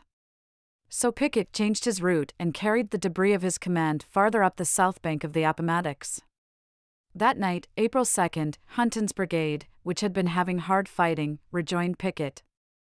Anderson, for his part, on the morning of that same fateful 2D of April, found only a strong cavalry force in front of his infantry and of Fitzhugh Lee's command. But the horses of the Confederate troopers were so weary, and the men were so tired, that he did not consider it wise to take the offensive until soldiers and mounts had rested. While he was waiting, information of the disaster at Petersburg reached him. Later, he got orders to retire behind the Appomattox at Bevill's, which was the nearest bridge across that stream. On the 3D, accompanied by the cavalry, Anderson began to carry out these orders and, after a day of many disturbances, reached the vicinity of Bevill's Bridge. There he caught up with Pickett, during the time Pickett was marching up the Appomattox on the 2D, while Anderson was resting at Church Crossing, preparatory to a similar move, the broken parts of Wilcox's and Heth's divisions, McGowan's, Scales's, MacRae's, and perhaps some of McComb's stragglers, got together under General Haight at Sutherland's Tavern. They numbered about 1,200 muskets and they proceeded to construct a hasty line by piling up fence rails. Two attacks they succeeded in beating off, but when the enemy turned their left flank and got in their rear, they had to retreat hurriedly. Many were captured, a remnant got across the river. They kept moving, at intervals, until the night of the 3D, when they rejoined their divisions at Goode's Bridge. Although there thus were three points of concentration Church Crossing, Sutherland's Tavern, and Exeter Mills, Anderson, who had nearly all the cavalry of the army with him, could not get the troops together. Each command fought or marched alone, in an effort to escape. But now, at last, on the night of the 3D, Lee was in touch with all the units that had made their way from the Petersburg line, and he had no reason to suppose the forces from the Richmond and Howlett lines would not speedily overtake him. It looked as if the reconcentration would be effected at Amelia Courthouse with no further losses. About 7 o'clock the next morning, April 4th, Lee learned that the courier who had been sent to Ewell with orders the previous evening had come back and had reported that he had not been able to hear anything of the troops moving from Richmond. Lee did not know what this implied, so he sent the dispatch off again with a postscript in which he gave Ewell discretionary orders to cross the river where he could, and to move as soon as practicable to Amelia Courthouse. To cover the possibility that Ewell might be compelled to use Goode's Bridge, Lee directed that Mahone's division should remain there and should prevent the crossing until it was known that Ewell was over the Appomattox. After Longstreet passed the rest of his command over Goode's Bridge, early in the morning of the 4th, he soon met enemy cavalry. Contact meant, of course, that Grant would speedily be apprised of the Army's position. Indeed, he might already have learned it. Skirmishing began and continued intermittently on the left flank as the column moved toward Amelia Courthouse, eight and a half miles away. Lee himself crossed the stream shortly after 7:30. Near the bridge, a young staff officer came up on his horse to report his command in good condition and awaiting orders. Lee heard him through and then, looking straight at him, asked, Did those people surprise your command this morning? The staff officer, much astonished, answered in the negative and inquired if General Lee had received any such report. The general answered that he had not, but that, judging from appearances, something urgent had kept the young men around headquarters from making their toilet, so he thought perhaps they had been surprised. Then he pointed to the officer's boots. On one leg, the trousers were stuffed hastily into the boot. On the other, they were outside. The youngster had been unconscious of this, and, when he looked, he blushed shamefacedly, took his rebuke in silence, saluted, and started to ride off. Seeing the officer's mortification, Lee called him back and told him that he only intended to remind him that on a retreat those who were near the commanders must take particular care to avoid anything that looked like demoralization. General Lee then rode on with the advance of Longstreet's corps. Gordon's veterans followed. The troops had now been out of the trenches 36 hours, with their wagon train strung out on the muddy roads behind them. The little bread and meat they chanced to have with them at the time of the Federal onslaught of the 2D had been consumed. The men were hungry, and for such long marches as they were expected to make, they needed ample food. That had been anticipated in advance of the retreat the Commissary General had carried out his instructions to collect a special reserve of rations in Richmond and had accumulated some 350,000 there. Lee's expectation was to supply the troops from this reserve as the men arrived at Amelia Courthouse. Then he expected to move directly down the railroad toward Danville. At other points on the railway, as he advanced, additional supplies were to be sent him. Having changed his base to Danville, he reasoned that, as he marched, his line of communications would be shortened hourly. On reaching Amelia Courthouse, during the morning of April 4th, still with the van of Longstreet's corps, Lee's first thought was for the commissary stores. He found ordnance supplies in abundance 96 full caissons, 200 boxes of artillery ammunition, and 164 boxes of artillery harness, but no food. More than 30,000 hungry men were moving on a village where there was not an army ration. This meant, at the least, a full day's delay, for the army must be fed, and the only way to do this was to halt the march, send out the wagons into the impoverished country roundabout, and impress what could be found. And a day's delay entailed the loss of the army's advantage in time. Even that might not be all. For if the enemy should come up during the night and cut the railroad ahead of the army, where could rations be found for the next day, or the next? The possibilities alarmed Lee, as had nothing that had occurred up to that time on the retreat. His anxiety showed itself in his face.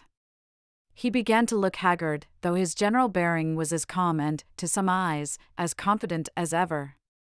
It was, of course, no easy task to disentangle wagons from the train and to send them out foraging over roads about which the teamsters knew nothing, but this was done at once. Lee in person addressed to the planters of the surrounding country an appeal for help in these terms. Amelia C. H., April 4, 1865. To the citizens of Amelia County, VA. The Army of Northern Virginia arrived here today, expecting to find plenty of provisions, which had been ordered to be placed here by the railroad several days since, but to my surprise and regret, I find not a pound of subsistence for man or horse. I must therefore appeal to your generosity and charity to supply as far as each one is able the wants of the brave soldiers who have battled for your liberty for four years. We require meat, beef, cattle, sheep, hogs, flour, meal, corn, and provender in any quantity that can be spared. The quartermaster of the army will visit you and make arrangements to pay for what he receives or give the proper vouchers or certificates. I feel assured that all will give to the extent of their means. R. E. Lee, General. The only other thing Lee could do immediately to procure food was to order supplies sent up the Richmond and Danville Railroad from Danville. A dispatch directing the immediate shipment of 200,000 rations to Amelia was sent by Colonel Cole for transmission from Jetersville, seven miles below Amelia. Some of the troops were silent and depressed when they received no rations, but in the Second Corps they still had heart enough to cheer Lee when he passed. The veterans, in the main, were as cheerful as of yore. They still, as one observer testified of those he saw, were in excellent morale, and had never been readier for desperate fighting than at that moment. Men and officers were tired and hungry, but laughing, and nowhere could be seen a particle of gloom, of shrinking, or ill humor, sure symptoms in the human animal of a want of heart of hope. Proud as Lee must have been of the spirit his men displayed, he knew that it could not long be sustained in the face of continued hunger and attack. He must recover as many hours as he might of the day's lead he was losing. This could be done only by rapid marching.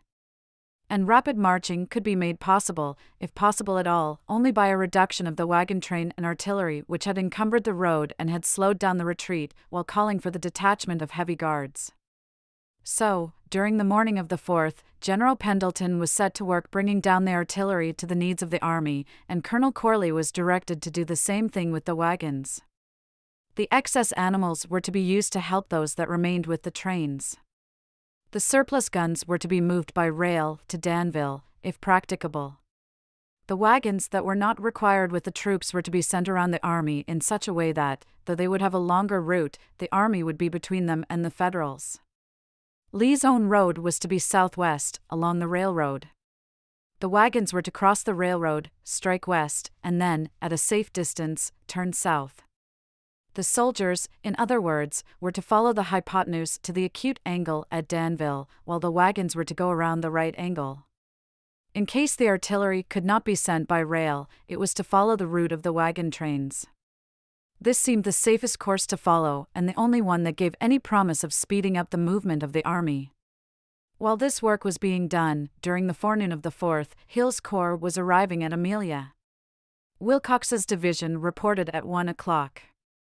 Some units of Heth's division were up by 4 p.m., among them MacRae's brigade, now reduced to about 150 men.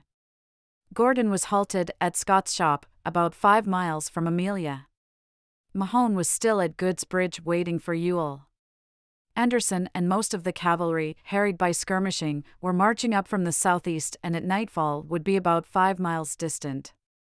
Some of the mounted units were beginning to put in an appearance at Amelia.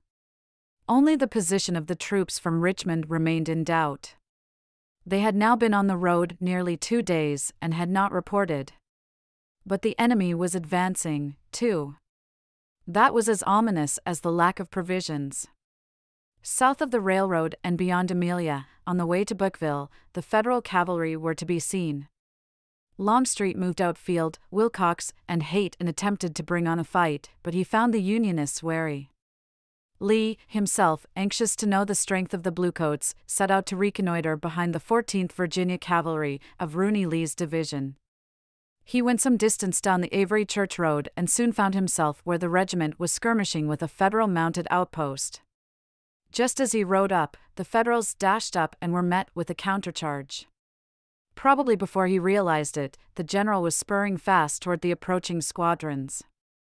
Most of the Federals veered off after an exchange of shots, but one of them rode straight on. In an instant, three or four pistols were turned on him. Lee divined what had happened. Don't shoot, he cried out. The men heard him and lowered their weapons. One of them caught the Federal's bridle and brought the horse to a halt. Then they saw what had prompted Lee to give the order the Federal was wounded and unable to control his runaway mount. At nightfall, the Federals withdrew from in front of Amelia, and Longstreet's troops were able to leave their line of battle. But there was rest neither of mind nor of body for Lee. His tents were pitched in the large yard of a house occupied temporarily by Mrs. Frances L. Smith, a refugee from Alexandria, whose husband was one of General Lee's countless kinsmen. It was a quiet place of trees and grass, and at another time it would have been a pleasant campsite. As it was, Lee was busy with troop dispositions and was wretched over the hunger of his men. Always sensitive to their suffering, he must have been tortured to know that after struggling for two days through the mud on a march of from 35 to 40 miles, they should have to sleep on empty stomachs and with no assurance of food on the morrow. Now, at last, came word from Ewell. He had reached the Appomattox and had found no bridge on his designated route, but he had gone to Matoax and reported from that point, telling General Lee that the engineers were planking the railroad bridge so that he could cross there. Lee answered with instructions and encouragement. He surmised that Ewell would have passed the stream by the time he wrote, 9 p.m., and in this he was not greatly mistaken. Kershaw of Longstreet's Corps and the Scratch Division of Custis Lee, 6,000 men altogether, were behind the Appomattox by night. Mahone, who had been holding the bridge at Goode's, passed over also and set out for Amelia. In anticipation of the approach of Ewell's wagon train, which was moving by a roundabout road, Lee at 11 o'clock issued orders for it to follow some of the roads designated for the first stages of the movement of the surplus wagons and artillery on the right of the Richmond and Danville Railroad. This general route was prescribed for the wagon train of Mahone and of the rest of the Third Corps. The situation, then, at the end of a torturing day was this the reconcentration was nearly complete, but it was bringing more men together where no food was available. If the troops were to be fed at all, it was from what the wagons could collect in the adjacent country and from what might be sent from Danville in answer to Cole's telegram. Should food be forthcoming on the morrow, then the army could move down the railroad and, being no longer slowed down by so large a wagon train, might regain some of the time it had lost in seeking provisions around Amelia. Still again, if they had good fortune, the excess wagons and artillery on the right of the railroad might reach their destination unharmed. There were many ifs, however, and nearly all of them were contingent on the enemy's movements. Those movements, as yet, had disclosed nothing more formidable than cavalry that had disappeared when darkness came. Although the odds were all against Lee, there was still a chance of escape, 24 hours would dim it or bring it nearer reality. The Staunton River, a strong line, was distant only four days' forced marching, and beyond it lay Danville, where a million and a half rations were stored. On the morning of April 5th, a showery, unhappy day, the wagons began to come in from foraging. One glance at them told the tale they were almost empty. The farmers had scarcely anything to give or to sell. The county had already been stripped of food and of provender. It was worse than a disappointment, it was a catastrophe. Often the loyal old army had been hungry, but now starvation seemed a stark reality. Wet and gloomy, the men were slow to take their places in the ranks and to test what was, perhaps, their last hope that of marching down the road far enough to find the provisions that had been ordered from Danville. At length, the surplus artillery and the wagons were started on their roundabout way to Danville, west of the railroad and beyond the right flank of the army. The caissons and boxes of shells that had been found at Amelia were destroyed, except such as could be used to renew the supply of guns with the troops. The trains of most of the infantry were also sent to the right and, as planned, were to move on a narrower arc than the other vehicles. W. H. F. Lee's cavalry division, which had come up, was dispatched down the railroad. Gary's brigade was ordered to protect the wagon train. Gordon's infantry were to continue to cover the rear. Then Longstreet began to move southwestward, behind a cavalry screen, toward Jetersville and Burkeville, the road of escape to Danville. He was followed by Mahone and presumably by Pickett. After them marched the rest of Anderson's troops, who had now arrived. While the column was extended, Ewell reported with Kershaw and Custis Lee from Richmond. He was put in rear of Anderson but did not move until later in the day. These troops of Ewell's had outmarched their wagon train, which had contained 20,000 good rations for Custis Lee's division. The men did not know it until the next day, if then, but that precious wagon train, when within four miles of Amelia, was struck by Federal cavalry and destroyed. Before these dispositions for the march down the railroad were made, rumors came that the vehicles to the westward had been attacked. Bad news, if true, for it meant that the Federal cavalry had crossed the railroad ahead of the Confederate infantry and had worked their way well around to the right flank. Fitz Lee reported after these rumors reached headquarters at Amelia. He had not seen his uncle since the morning of March 29 at Petersburg, and he had lost many troopers meanwhile but this was no time for reminiscence or explanation. He was ordered to take his own division and Rosser's and to proceed at once in the direction of Paineville, near which the wagon train was supposed to be moving. General Lee kept his headquarters at Amelia until the infantry were well on the road toward Jetersville, the next station beyond Amelia on the Richmond and Danville Railroad. From the village, he may have heard the sound of the skirmishing that marked the advance. About 1 p.m., he rode forward with Longstreet, and at a distance of about seven miles from Amelia came upon the enemy, entrenching on a well chosen position. The Federals had overtaken Lee. The road of the Army's escape was blocked. Chapter 6 Has the Army been dissolved? Often enough, before that 5th of April, 1865, the advance of the Army of Northern Virginia had been halted and word had been sent back that the enemy was at bay. This time, Lee was the pursued and not the pursuer. Unless the federal position could be quickly forced or turned, the hope of getting supplies from Danville was at an end, and that, in the desperate situation of the retreating forces, might mean an overwhelming disaster with results too horrible to contemplate. Hastening to the front as soon as he received report of the enemy's presence, Lee found his son Rooney on the ground, with some information as to federal forces. They were Sheridan's men, the cavalryman reported how Lee's weary heart must have sunk at the words, and infantry were close by, moving in the general direction of Burkeville. Grim faced and silent, Lee made a reconnaissance of the Federal position, made it carefully and slowly as was required, where so much depended upon the decision. He called in the farmers from the neighborhood and talked to them of the country ahead, but he found they knew little of it. Should he try once more the antique valor of his infantry, as he had at Second Manassas and at Chancellorsville?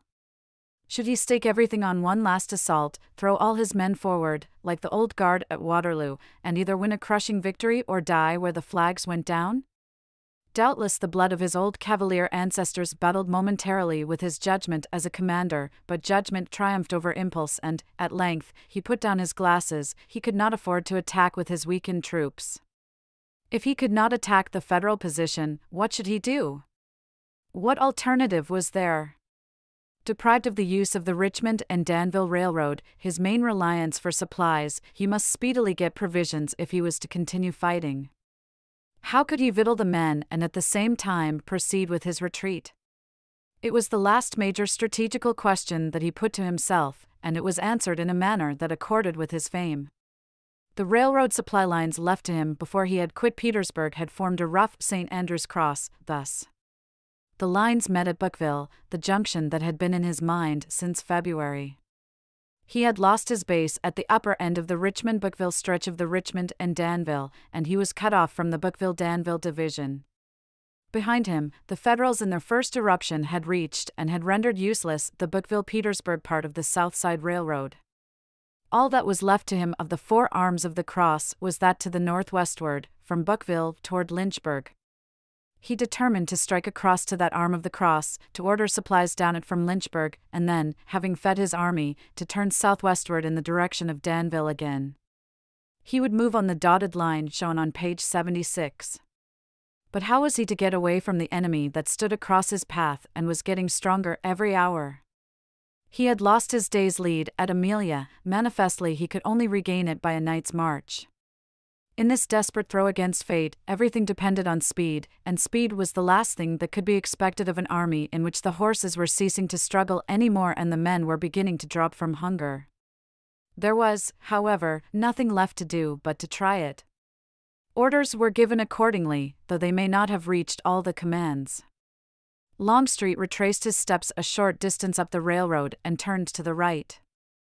The other corps took the same general route, only to find the roads jammed and progress almost impossible. It developed that the rumored attack on the wagon train had been a disastrous reality. Federal cavalry had swept down upon the trains before they had reached Paineville, on the road to Farmville, and had driven off the guards. About 200 wagons had been burned, and 320 soldiers, in addition to 310 Negro teamsters, had been made prisoner. This attack on a narrow road in swampy ground blocked the way and stopped all movement of the trains. Six hours passed before the wheels of the wagons began to turn again. It was after night when the trains got to Paineville, distant only about 10 miles by road from Amelia. This long tie up made it necessary to reroute some of the wagons on the road the infantry were following toward Amelia Springs. The above sketch shows the terrain. The forced night march of April 5 6, now Lee's chief hope of escape, almost immediately became a slow stumble over crowded roads where confusion ruled and panic was easily spread. A black stallion, running away with a fence rail swinging from his bridle, set men to shooting at one another in the darkness. Worse still, as the engineers had not considered the possibility of an advance on the road from the railway to Amelia Springs, they had not strengthened the bridge over a troublesome little stream known as Flat Creek, which crossed the road just before the springs were reached. The bridge broke down and halted the artillery and the wagons, though the infantry could ford the watercourse and keep on. Lee ate his supper at Selma, the home of Richard Anderson, about two miles from Amelia Springs. Anticipating a clash, he urged the hospitable family to see safety in the cellar. Then he hurried to the creek and sent for the engineer troops, who were still at Amelia Courthouse, where they had arrived that day. Probably while he was waiting for the engineers to come up, a courier brought Lee a message from Gordon. Two spies had been captured, and from one of them had been taken dispatches that Gordon considered sufficiently important to forward for Lee's inspection. The small envelope was marked for quick delivery and was addressed to the Federal General Ord. Inside were two yellow tissue sheets, copies of messages of no great consequence, and a single white sheet on which in a sprawling hand was a note to Ord dated Jetersville, April 5, 1865, 10:10 p.m. It directed that officer to move at 8 a.m. the next morning and to take a position from which he could watch the roads between Burkeville and Farmville. I am strongly of the opinion that Lee will leave Amelia tonight to go south.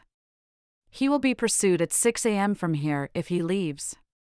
Otherwise, an advance will be made upon him where he is. This was signed U.S. Grant, Lieutenant GNL. There was no mistaking the meaning of this, Grant himself was at Jetersville, or at Burkeville. The Army of the James, as well as the Army of the Potomac, was nearby in sufficient strength to pursue or to attack. It was the first certain information Lee had that Ord's troops from the north side of the James, the most distant federal units, were on his heels. The news showed the vigor of the pursuit and reinforced the urgency of speed and still more speed. Lee remained at the crossing until the engineers had arrived and had given assurance that the material for repairing the bridge was close at hand. Thence he rode on to Amelia Springs, just beyond Flat Creek, and there he at once adjusted his dispositions, so far as practicable, to the new development. The first obvious danger was, of course, that the wagon train would slow down the retreat of the army so much that the rear troops might be cut off. There was no way to be rid of the wagons, because the roads were few. The one route that was not to be used by the army led to the Appomattox at a point where, so far as Lee could ascertain, there was no bridge. The wagons, therefore, had to be taken along, and the rear closed up as well as was possible. Part of the cavalry could be utilized to cover the retreat and, as it happened, could use crossroads that were well suited for defense. Special pains must be taken to destroy the bridges. All this General Lee explained in a letter he wrote General Gordon at 4 a.m. in his own hand. I will try to get the head of the column on, he concluded, and to get provisions at Rice's Station or Farmville. When he handed Gordon's staff officer this letter, Lee thought a moment before giving an answer to a verbal question Gordon had forwarded concerning the disposition of the two spies. Having been caught in Confederate uniform and having acknowledged themselves Federal spies, these men were liable to immediate military execution. Gordon had asked whether this should be carried out. Lee pondered. Tell the general, he said at last, the lives of so many of our men are at stake that all my thoughts now must be given to disposing of them. Let him keep the prisoners until he hears further from me. Subsequently, the officers who carried and received this message concluded that Lee deferred a decision in the belief that if the fate of his own army was to be settled speedily, he should not take the lives of his enemies needlessly. The second danger Lee had to consider on the night of April 5 6 was one he discussed with Fitz Lee, who had driven off the Federal attack on the wagon train near Paineville and had now ridden ahead of his command to Amelia Springs. This danger was that Sheridan would attack and destroy the wagon train as it groaningly crept to the southwest the next day. Already it was apparent that the United States cavalry had ceased operating against the Confederate rear and were preparing to move on a route parallel to Lee's left marching flank, a direful prospect. The only defense was caution in seeing that each command kept contact with the unit ahead and, exercising the greatest vigilance, stood ready to beat off attacks. Fitz Lee was to send all except one division of his cavalry toward Rice after Longstreet, but he was to remain in person to explain the situation to the 1st Infantry Commander to arrive. The division left behind was to guard the rear. In a word, the condition presented by the captured dispatch could not be removed strategically and had to be met tactically. With speed his one remaining weapon, Lee was confirmed in his decision that the movement of the whole army must continue through the night and on into the day with only such brief rest as was imperative. Longstreet was to remain in the van, and Lee determined to march with him in the hope of expediting the retreat. Behind Longstreet were to come Anderson, Ewell, and, in the rear, the alert, hard hitting Gordon. Beyond Deatonsville, five miles west of Amelia Springs, all these troops and all the wheeled vehicles would have to use one road. And to this road, unfortunately, another ran almost parallel, just where the Federals could use it for dashes against the wagon trains. It was the gloomiest outlook Lee had yet faced on the retreat. Desperate since he had reached Amelia Courthouse and had found no provisions there, his situation might easily be rendered hopeless within 24 hours. Commissary General St. John reported at headquarters while Lee was at Amelia Springs. St. John had left Richmond not long before the Federals had entered the city on the morning of April 3, and he had been trying to hasten forward the wagons he had loaded in Richmond with the provisions he had not been able to send up the Danville Railroad on April 2 in answer to Colonel Cole's belated message. From St. John, probably, Lee learned for the first time why the rations had not been awaiting him at Amelia. He learned, also, that part of those that had been brought from the evacuated capital had been captured by the Federals near Clementown Bridge. The only encouragement St. John could give was that he had 80,000 rations at Farmville, which was 19 miles away. This food had been en route to the army when the South Side Railroad had been cut. After the cars had been halted at Burkeville, they had been switched back up that line toward Farmville. Their contents would be available as soon as the army reached the railway. Should they be left at Farmville, asked General St. John, or should they be moved farther down the railroad, closer to the army? Lee said frankly that the military situation made it impossible to answer. What he apprehended, of course, was that the Federal cavalry might reach the railroad before he did, and might destroy the train. St. John accordingly went on to Farmville to prepare for the coming of the army and for the issuance of rations there. It was now the early morning of April 6, a dreadful day in the history of the Army of Northern Virginia.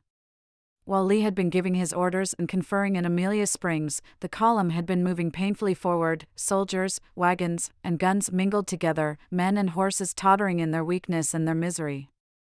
Straggling was perceptibly worse the number of broken down teams was larger.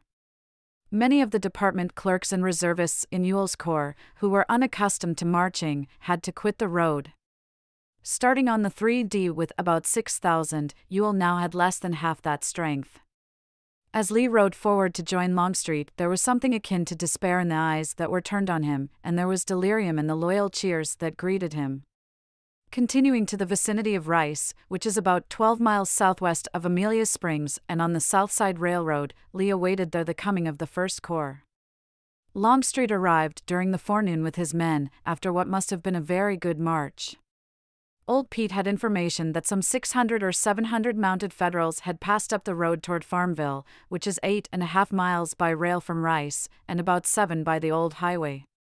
The object of these troops was presumably to burn the bridges over which part of Lee's army would pass in reaching that town.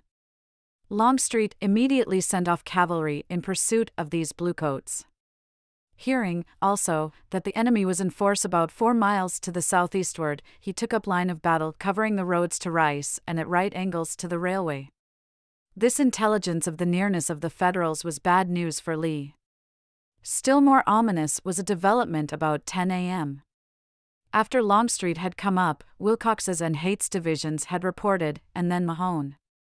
But Pickett, whose men were at the head of Anderson's little corps, had not closed on Mahone, as the marching orders required. Instead, there was a gap, and, after a little, word that the wagon train had been assailed some two miles back on the road.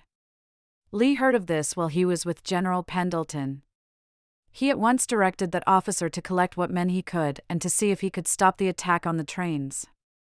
Soon it was apparent that the Federals had fired the wagons they had reached. How strong they were and what support they had, Lee did not know. But the outlook was grim. With the column broken, the presence of Union cavalry on the flank of a far spread wagon train meant danger and inevitable delay at a time when speed was everything. Besides, Lee was militarily in the dark, ahead of half his army. While waiting anxiously for the arrival of the head of Anderson's column, Lee examined the roads and the terrain around him. It was bad ground for a retreat. The meandering Appomattox found its way among hills that now were close to its channel, and now set forbiddingly back from it, high and difficult of approach. The country on either side of the river was rolling and cut by many smaller streams. Some of these bogged between the hills. Others, mere branches in themselves, ran between declivities so steep that heavy bridges were necessary the roads converged in the general direction of Farmville and were straightest and best from the very direction of the federal approach. There could hardly have been a stretch of Virginia countryside better suited for an attack by cavalry on an encumbered column of infantry. Particularly dangerous was the ground northwest of Rice, still to be traversed by the center and the rear guard there were located the two forks and the watershed of a little stream called Sailor's Creek that flows northward into the Appomattox at a point where the river makes a loop to the southward as shown on the map, page 87. The crossings of this watercourse were much exposed. The bridges were weak and narrow. To the west of the creek were hills that presented a hard pull for teams and were not as strong a defensive position as they seemed because they were easily taken in rear. Over nearly the whole of the landscape grew dark pine woods, broken by scattered plantations and a few small farms, just the setting for a military tragedy. In examining this ground, General Lee rode during the early afternoon, virtually without escort, toward the Appomattox River and the mouth of Sailor's Creek. There he found himself with Roberts's cavalry brigade. This little command of North Carolinians was not engaged, but it was watching something as ominous as it was unexpected a fight in progress on the other side of the creek, between Gordon's corps and unidentified units of the enemy. Gordon was the rear guard. If he was being assailed, where were the central divisions? What had happened to them? Lee dismounted near a cabin, held Traveller by the bridle, and with the other hand took out his glasses to survey some white objects he saw in the distance. A young captain came up at the moment. Are those sheep or not? Lee asked doubtfully. No, General, said the possessor of younger eyes, they are Yankee wagons. Lee looked again through his glasses and then said slowly, You are right, but what are they doing there? What did it mean that the Federal wagon trains, which normally followed the troops, were already up, and no word from Anderson or Ewell, who were marching ahead of Gordon, 25? Riding back in a few minutes, toward the line on which these corps should be moving, Lee soon met General Mahone, who had been engaged the previous evening in a verbal encounter with Colonel Charles Marshall. Lee had thought Mahone in the wrong, and he proceeded now to remonstrate with him on the tone he had employed. While they were talking, Colonel Venable rode up and asked if Lee had received his message. No, said the general. Then Venable told him that the enemy had captured those of the wagons that were between the branches of Sailor's Creek. Where is Anderson? exclaimed General Lee. Where is Ewell? It is strange I can't hear from them. Then he turned. General Mahone, he said, I have no other troops. Will you take your division to Sailor's Creek? Mahone gave the order, the men started, Lee and Mahone went ahead of them, Colonel Venable behind the two. They rode on a high ridge leading northward to the Appomattox, and then they turned to the right and came to the elevation overlooking the creek. The landscape opened up on the instant for a long distance across the valley. Lee stopped and straightened himself in his saddle and stared at what he saw. It was such a sight as his eyes had never beheld in the years of his command of the Army of Northern Virginia. Streaming out of the bottom and up the ridge to them were teamsters without their wagons, soldiers without their guns, and shattered regiments without their officers, a routed wreck. My God, cried Lee, as if to himself, has the army been dissolved? Mahone, whose heart was in his mouth, swallowed and struggled and at last answered stoutly, No, General, here are troops ready to do their duty. Lee regained his poise on the instant. Yes, General, he said, there are some true men left. Will you please keep those people back? As Mahone hurried away to draw a line of battle, Lee spurred forward to rally the men who were running toward him either from the ground where the bearer had dropped it in his flight, or else from the hand of some color bearer, Lee took a battle flag and held it aloft. There on Traveller he sat, the red folds of bunting flapping about him, the soldiers in a mob in front of him, some wild with fear, some exhausted, some wounded. A few rushed on, others looked up and, recognizing him, began to flock around him as if to find shelter in his calm presence. Did it flash over him then that this was the last rally of the great army of Northern Virginia? 26. Chapter 7 A letter comes to headquarters. There on the hill above Sailor's Creek, the fugitives gathered fast. For all of them, as for Pickett's survivors after the fatal charge at Gettysburg, Lee had encouragement. Mahone's men would protect them, he said, the enemy would not overtake them. They must go to the rear and form again. It's General Lee, the encouraged soldiers began to cry. Where's the man who won't follow Uncle Robert? Mahone soon returned and took the battle flag from the general's hand. Lee reached for his binoculars and began to study the valley and the hills beyond it, in the hope of discovering how he should dispose his thin line to halt the enemy's advance. Presently, in the backwash of the retreating troops, there arrived a general of exalted grade, whose name merciful history does not record. Lee was sweeping the field with his glasses at the moment, the reins loose on Traveller's neck, his attitude full of alertness and pugnacity. Not a glance did he give to the newcomer. General Lee, said one of his staff officers, here is General. Lee did not lower his glasses or honor the beaten commander with a nod. All he did was to move his right hand to the rear in a gesture of biting reproach. General, he said slowly, take those stragglers to the rear, out of the way of Mahone's troops. I wish to fight here. The character of the debacle was not yet known, but its magnitude was obvious.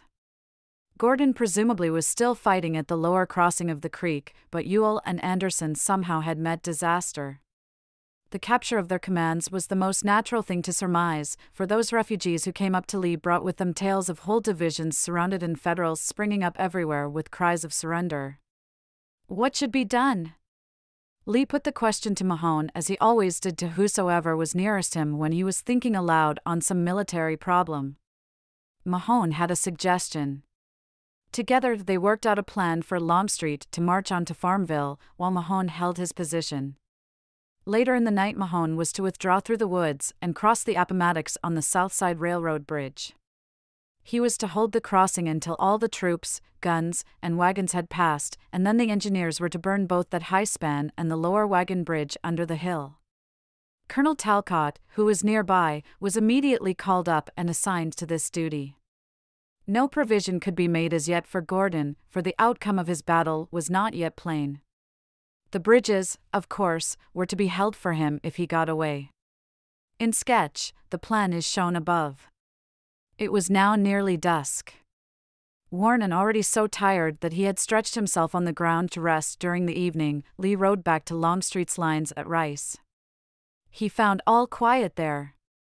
The cavalry that had been sent off during the morning had overtaken the Federals who were aiming to burn the high bridge over the Appomattox and had killed or captured nearly all of them. Enemy infantry had appeared during the afternoon southeast of Rice and had come within a mile of the place, but had not attacked seriously. Longstreet's forces were intact, and Gordon's had been located, though they were still hotly and dangerously engaged, but it was soon apparent that these and the cavalry were now nearly all that was left of the army. As the details were put together, the tragedy that had overtaken the other troops stood out unrelieved. From early forenoon, Anderson had been following Longstreet's wagons. Ewell had been behind Anderson. Then had come the greater part of the wagon train, and then Gordon, closing the rear. The long, enfeebled column had crept on toward Sailor's Creek, but had been repeatedly engaged. The Federal cavalry would charge up from the Genito Road, south and southeast of the route of the army, and would feel out the strength of the forces marching with the wagons. Repulsed by the infantry, who formed line of battle to protect the trains, the Federals would ride on ahead and strike again and still again, always in search of some weak spot. About 11 a.m., the Union troops were attacking Gordon so vigorously in the rear and were demonstrating so heavily that Anderson and Ewell halted where they were in order to permit the wagons to pass and thereby to keep Gordon from being cut off while covering the trains. Anderson had orders that he should close on Mahone's division, which was the rear command under Longstreet, but Anderson did not notify Mahone that he was halting. As a consequence, Mahone marched on and left behind him an hourly widening gap between him and the van of Pickett's division, the leading unit of Anderson's command. Unprotected wagon trains were moving through this gap, near the large Harper plantation, on the upper stretches of Sailor's Creek and between the branches, when Federal cavalry bore down on them. The Bluecoats reached the wagon train and burned a small part of it. This was the attack General Lee had asked General Pendleton to try and repulse when he had heard of it during the forenoon. The eruption of the Federals, of course, partially blocked the road, caused Anderson's troops to halt, and made progress slower, but at length, about 2 p.m., the remaining wagons ahead of Anderson began to move once more. Gordon was then close on Ewell's rear, and all the wagon trains between Ewell and Gordon seemed to be safe. When the leading troops of Anderson's command reached the point where the wagons had been fired, they found Union cavalry across the road in great strength. General Wise at once extemporized an assault with his brigade and drove the Federals to the south, but he was greatly outnumbered, and as he had not communicated to his immediate superior his intention of attacking, he was not supported by the rest of Johnston's division and had to withdraw. Meantime, and apparently with no knowledge of what Wise was doing, Anderson rode back to the head of Ewell's column to find its commander and to tell him that the enemy had the road ahead. Ewell had already heard this from Fitz Lee, who chanced to be passing, and he had directed the wagon trains to leave the main route of the army east of Sailor's Creek and to take a more northerly road over a lower crossing, so that they would escape the obstacle of the burned vehicles. No word of this change of the route of the wagon trains, however, was sent to Gordon, who was following Ewell but was not in direct touch with him. When Anderson and Ewell met, it was clear that they must either attack and drive off the enemy or else leave the road, skirt around the Federals, and seek a way that would lead to Farmville. Ewell was for the latter course, but as he had not been over the ground and as Anderson had, he left the decision to the South Carolinian. Anderson chose to deliver a joint attack to clear the line of march. Before the dispositions for this could be made, however, Federal troops began to appear in large numbers in Ewell's rear. This was because Gordon, who had been following Ewell and had been heavily engaged, had assumed, in the absence of any word to the contrary, that the route of the wagons was that of the infantry, as it had been all day. He had filed off after the trains, the Federals had found the gap and had plunged in. The result was that while Anderson was about to be attacked in front, Ewell's corps was to be assaulted from the rear. Perceiving this, Anderson told Ewell that he, Ewell, would have all he could do on his line and that the attack to clear the road ahead would have to be made with Anderson's own command. Anderson rode away for this purpose, and Ewell prepared his line of battle to resist the Federal assault. Back to back, the corps made ready, Anderson facing west, Ewell east.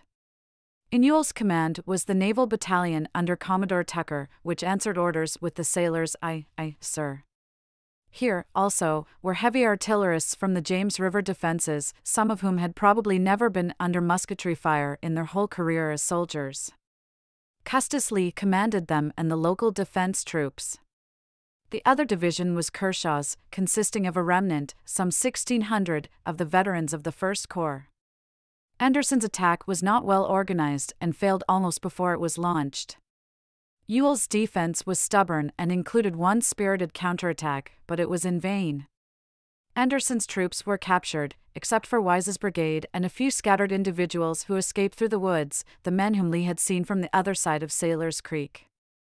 Ewell's corps was taken in front, in flank, and in rear, and after hand to hand fighting, where the bayonet was used, was forced to surrender. Ewell lost 2,800 in this way, Anderson perhaps 1,500. The two corps, as fighting units, virtually ceased to exist. Lee told only the somber truth when he said to Pendleton, General, that half of our army is destroyed. The weary commander probably was still gathering the details of the disaster to Ewell and to Anderson on Sailor's Creek when this note came from Gordon, marked 5 p.m. I have been fighting heavily all day. My loss is considerable and I am still closely pressed. I fear that a portion of the train will be lost as my force is quite reduced and insufficient for its protection. So far, I have been able to protect them, but without assistance, can scarcely hope to do so much longer. The enemy's loss has been very heavy. As he had covered the rear, Gordon had been so closely pursued that he had been forced before noon to halt a division, to throw up works across the road, to pass the other divisions through, and then to repeat the process with the 2nd Division and the 3rd. Once he was compelled to form line of battle along the hills at Deatonsville, and with Jones's artillery and W. H. F. Lee's division of cavalry to retard the enemy until the road in front of him was clear of wagons for a mile. Then he set out again, and having turned to the right, as already noted, caught up with the wagon trains at an exceedingly bad crossing near the mouth of Sailor's Creek. The cavalry had been withdrawn by this time, so his three small and tired divisions had to hold off the Federals on the east side of the creek until the wagons got over. The direct assault of the enemy was successfully repulsed. Soon afterward, however, the Federals who had overrun Ewell's front massed for a new charge on Gordon. It was at this juncture that he wrote Lee. Probably before the dispatch was received, Lee could not have given assistance even had word come earlier Gordon was again attacked. Once more he drove back his assailants, but about six o'clock he was assaulted heavily in front and on both flanks. His exhausted divisions broke, got across the creek as best they could, and formed again, after a fashion, on the west bank, in the darkness. Gordon lost by capture some 1,700. These, added to the men taken from Ewell and Anderson and those who straggled and fell into the hands of the enemy during the day, brought the Federals' haul of prisoners to at least 6,000. With the killed and wounded counted in, the day had cost Lee not less than 7,000 and perhaps 8,000 men. The Southern commander now had only six divisions that could be counted as fighting organizations, and but two of these, Field's and Mahone's, were of any size. The cavalry mounts were nearly dead, though the troopers who had been able to keep their horses going were still capable of putting up a fight. The artillery was reduced by about 50% in personnel and still further in guns to oppose on the Morrow four corps of infantry and four divisions of cavalry, a total of 80,000 men, all within striking distance and with sufficient food and ammunition, Lee could not muster more than 12,000 reliable muskets and 3,000 sabres. Every hours was to see that number perceptibly diminished, for men who had held their nerves under control and had silenced their protesting stomachs were dropping fast. Each halt meant that some soldiers would not be able to obey the fall in when the column moved forward again. Lee permitted himself no inferences that night. Nor, where everything was contingent on hour by hour developments, could he plan far ahead. Obviously, there was still a chance of escaping with what remained of his army if he could rest and reorganize his men. For then, he could widen in the direction of Lynchburg the arc of his retreat to the southwest and might still outmarch the enemy. At the least, he could execute the first part of this movement.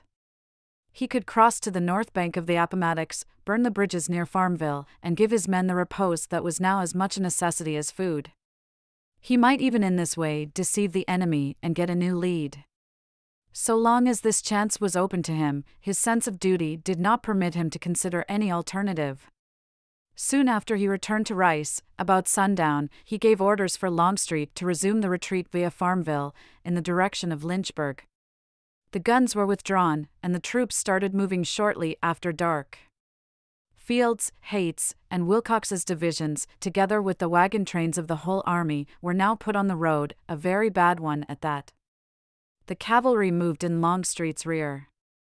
The orders to the officers collecting the scattered units were that they should get the men across the Appomattox and reform them there.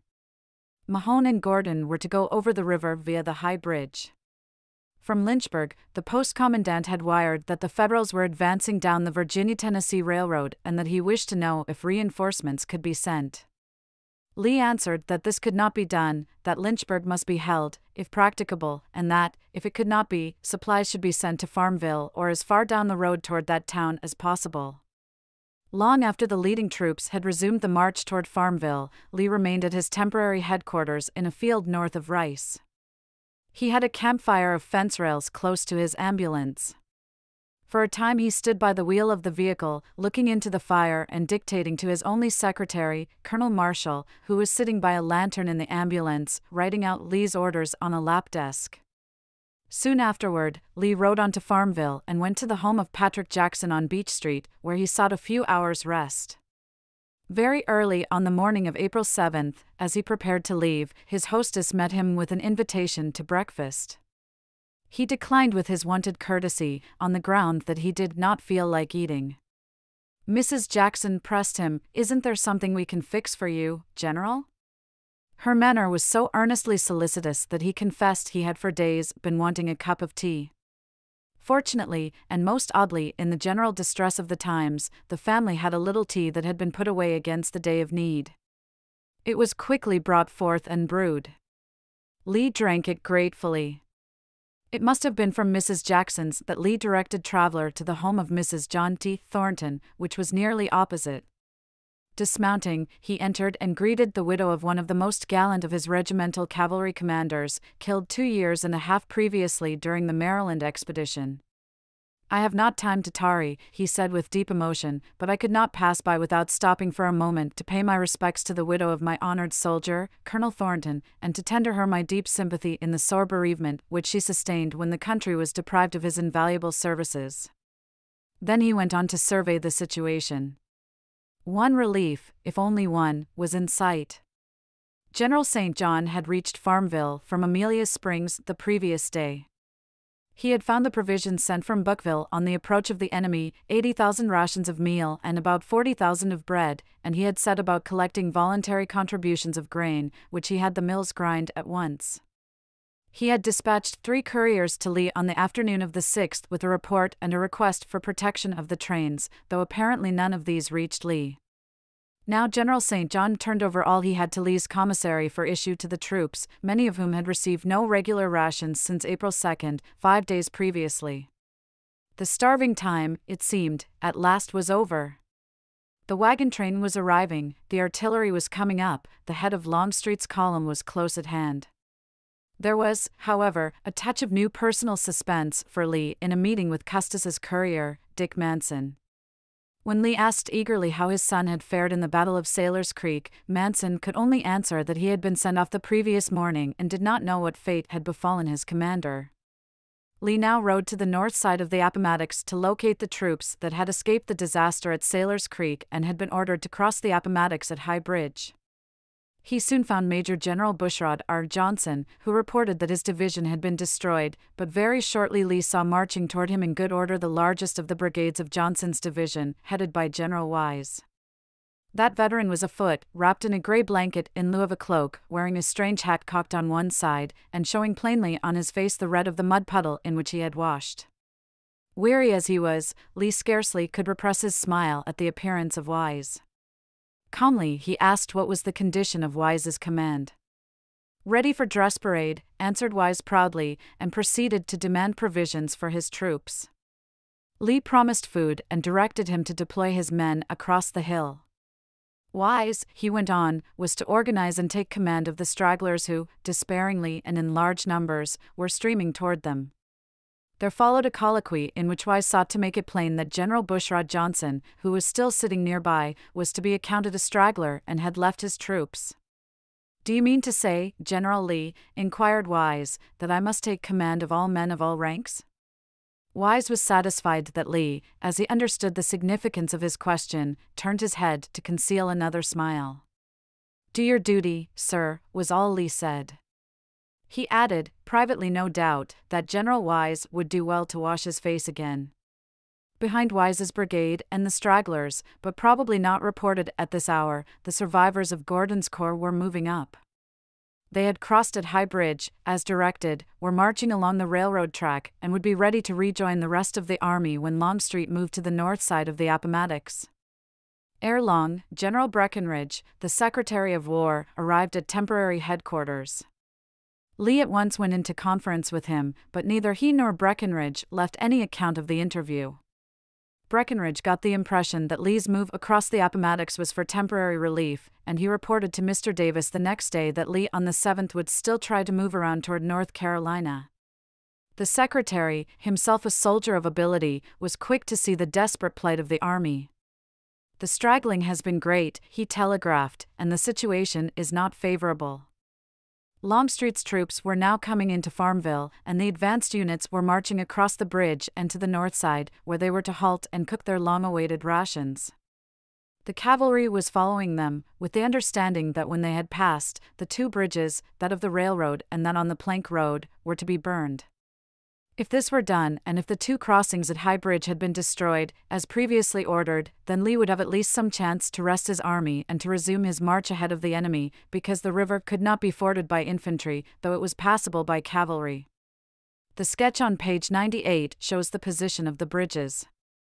Just at this hopeful moment came dire news. All Lee's plans were suddenly set at naught. Federal infantry were already on the north bank of the river and were moving rapidly upstream toward the flank of the tired forces that were frying their bacon in the belief that at last they were safe from alarms. It developed that a grievous blunder had been made. Down the river, at High Bridge, where General Mahone had been stationed as rear guard, the railroad span had been set afire in time to be burning freely before the enemy reached it, but the wagon bridge in the valley, a much smaller affair, had been lighted too late. Barlow's division of the two corps had gone down to it, had put the flames out, and had marched rapidly across it. By nine o'clock, the first division of the same corps was moving easily over it. The delay in setting the wagon bridge afire seems to have been due to misunderstanding of the usual sort. The engineers had been directed to burn the bridges on word from General Mahone. He either forgot to give the orders in time or else thought the engineers were to act without him. Mahone made an attempt to retake the bridgehead, but failed. Thereupon he was forced to withdraw, though he put up stiff resistance to the Federal advance, some three miles from Farmville. Gordon's corps, which was ahead of Mahone, had light skirmishing. General Lee exploded when he got word of the blunder. With vehemence unrestrained, he voiced his opinion of the act and its authors. The last hope of the shattered army was being allowed to slip away. Lee's rage was soon subdued, however, and his mind was put to work to redeem once more, it was to be nearly the last time, the military mistakes of others. He sent for Alexander, told him what had happened, showed him on the map where the Federals could strike the road of the Confederate retreat three miles ahead, and directed him to move artillery to protect the position.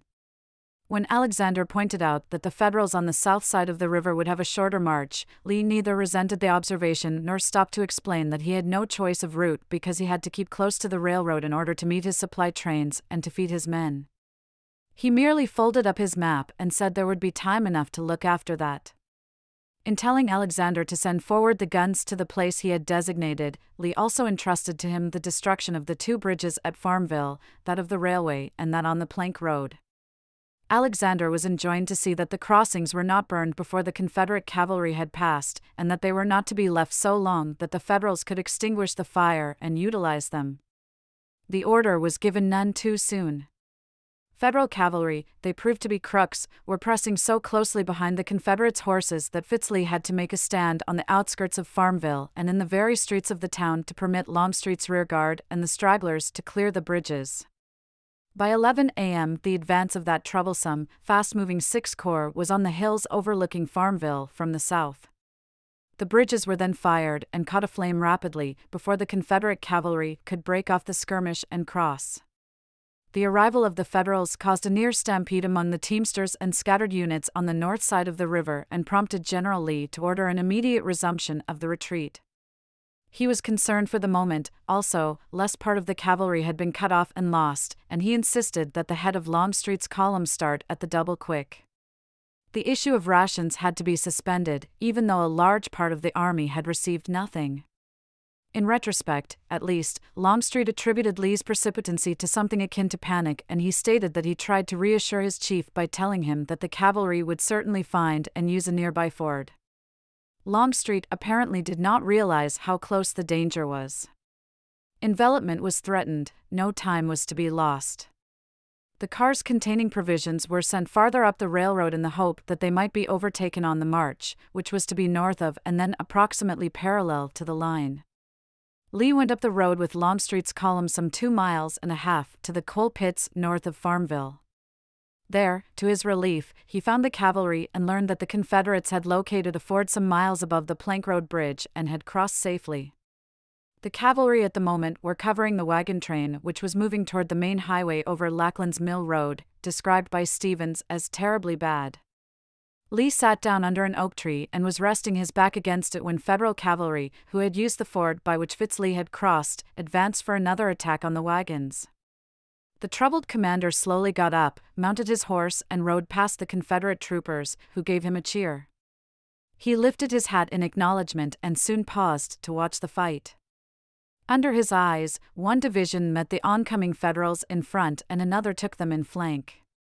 The enemy's attack was broken up brilliantly.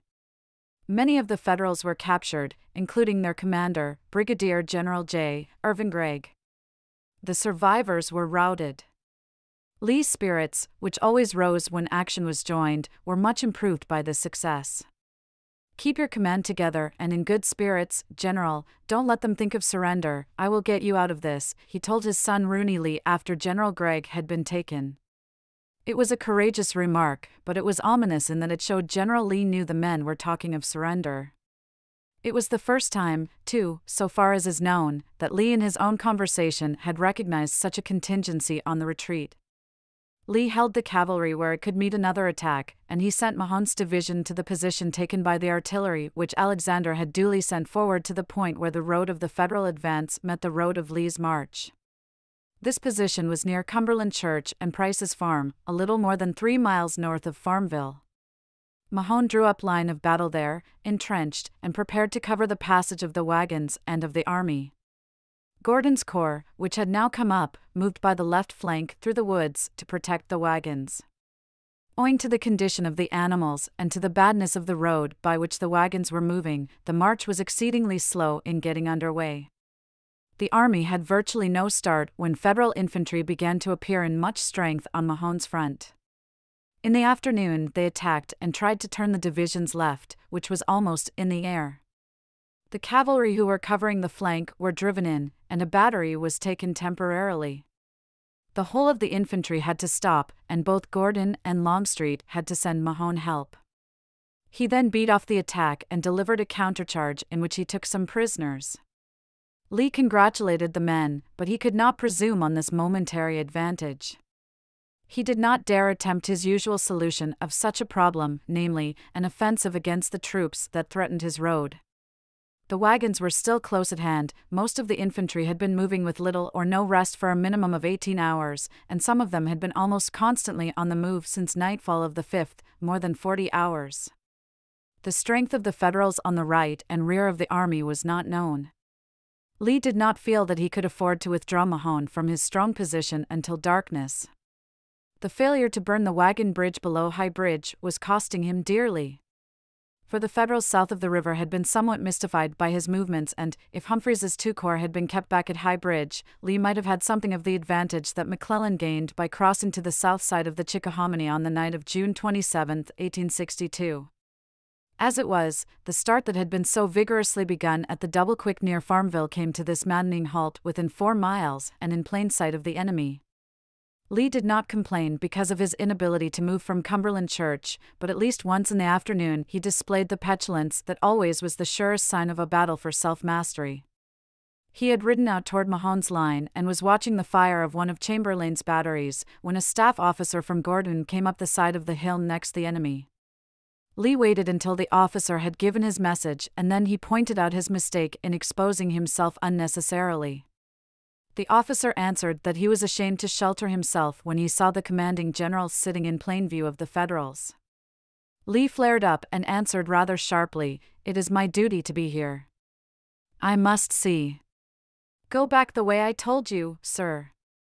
A small incident, surely, but it was remembered and repeated. Evil was the day when Marse Robert employed even that mild tone of rebuke. 61. As darkness fell, Lee went to a cottage near Mahone's Lines and close to Cumberland Church to spend the night. Longstreet soon joined him there. About half past nine, or perhaps a little later, a courier came up from Mahone's front with a dispatch for the commanding general. Lee opened it himself and read Headquarters Armies of the United States. April 7, 1865, 5 p.m. General R. E. Lee. Commanding C. S. Army. General, the results of the last week must convince you of the hopelessness of further resistance on the part of the Army of Northern Virginia in this struggle. I feel that it is so, and regard it as my duty to shift from myself the responsibility of any further effusion of blood by asking of you the surrender of that portion of the C.S. Army known as the Army of Northern Virginia. Very respectfully, your obedient servant. U.S. Grant. Lieutenant General. Commanding Armies of the United States. General Lee studied it without a word or sign and then silently passed it to Longstreet, who was sitting near him. Longstreet read it, also, and handed it back. Not yet, he said.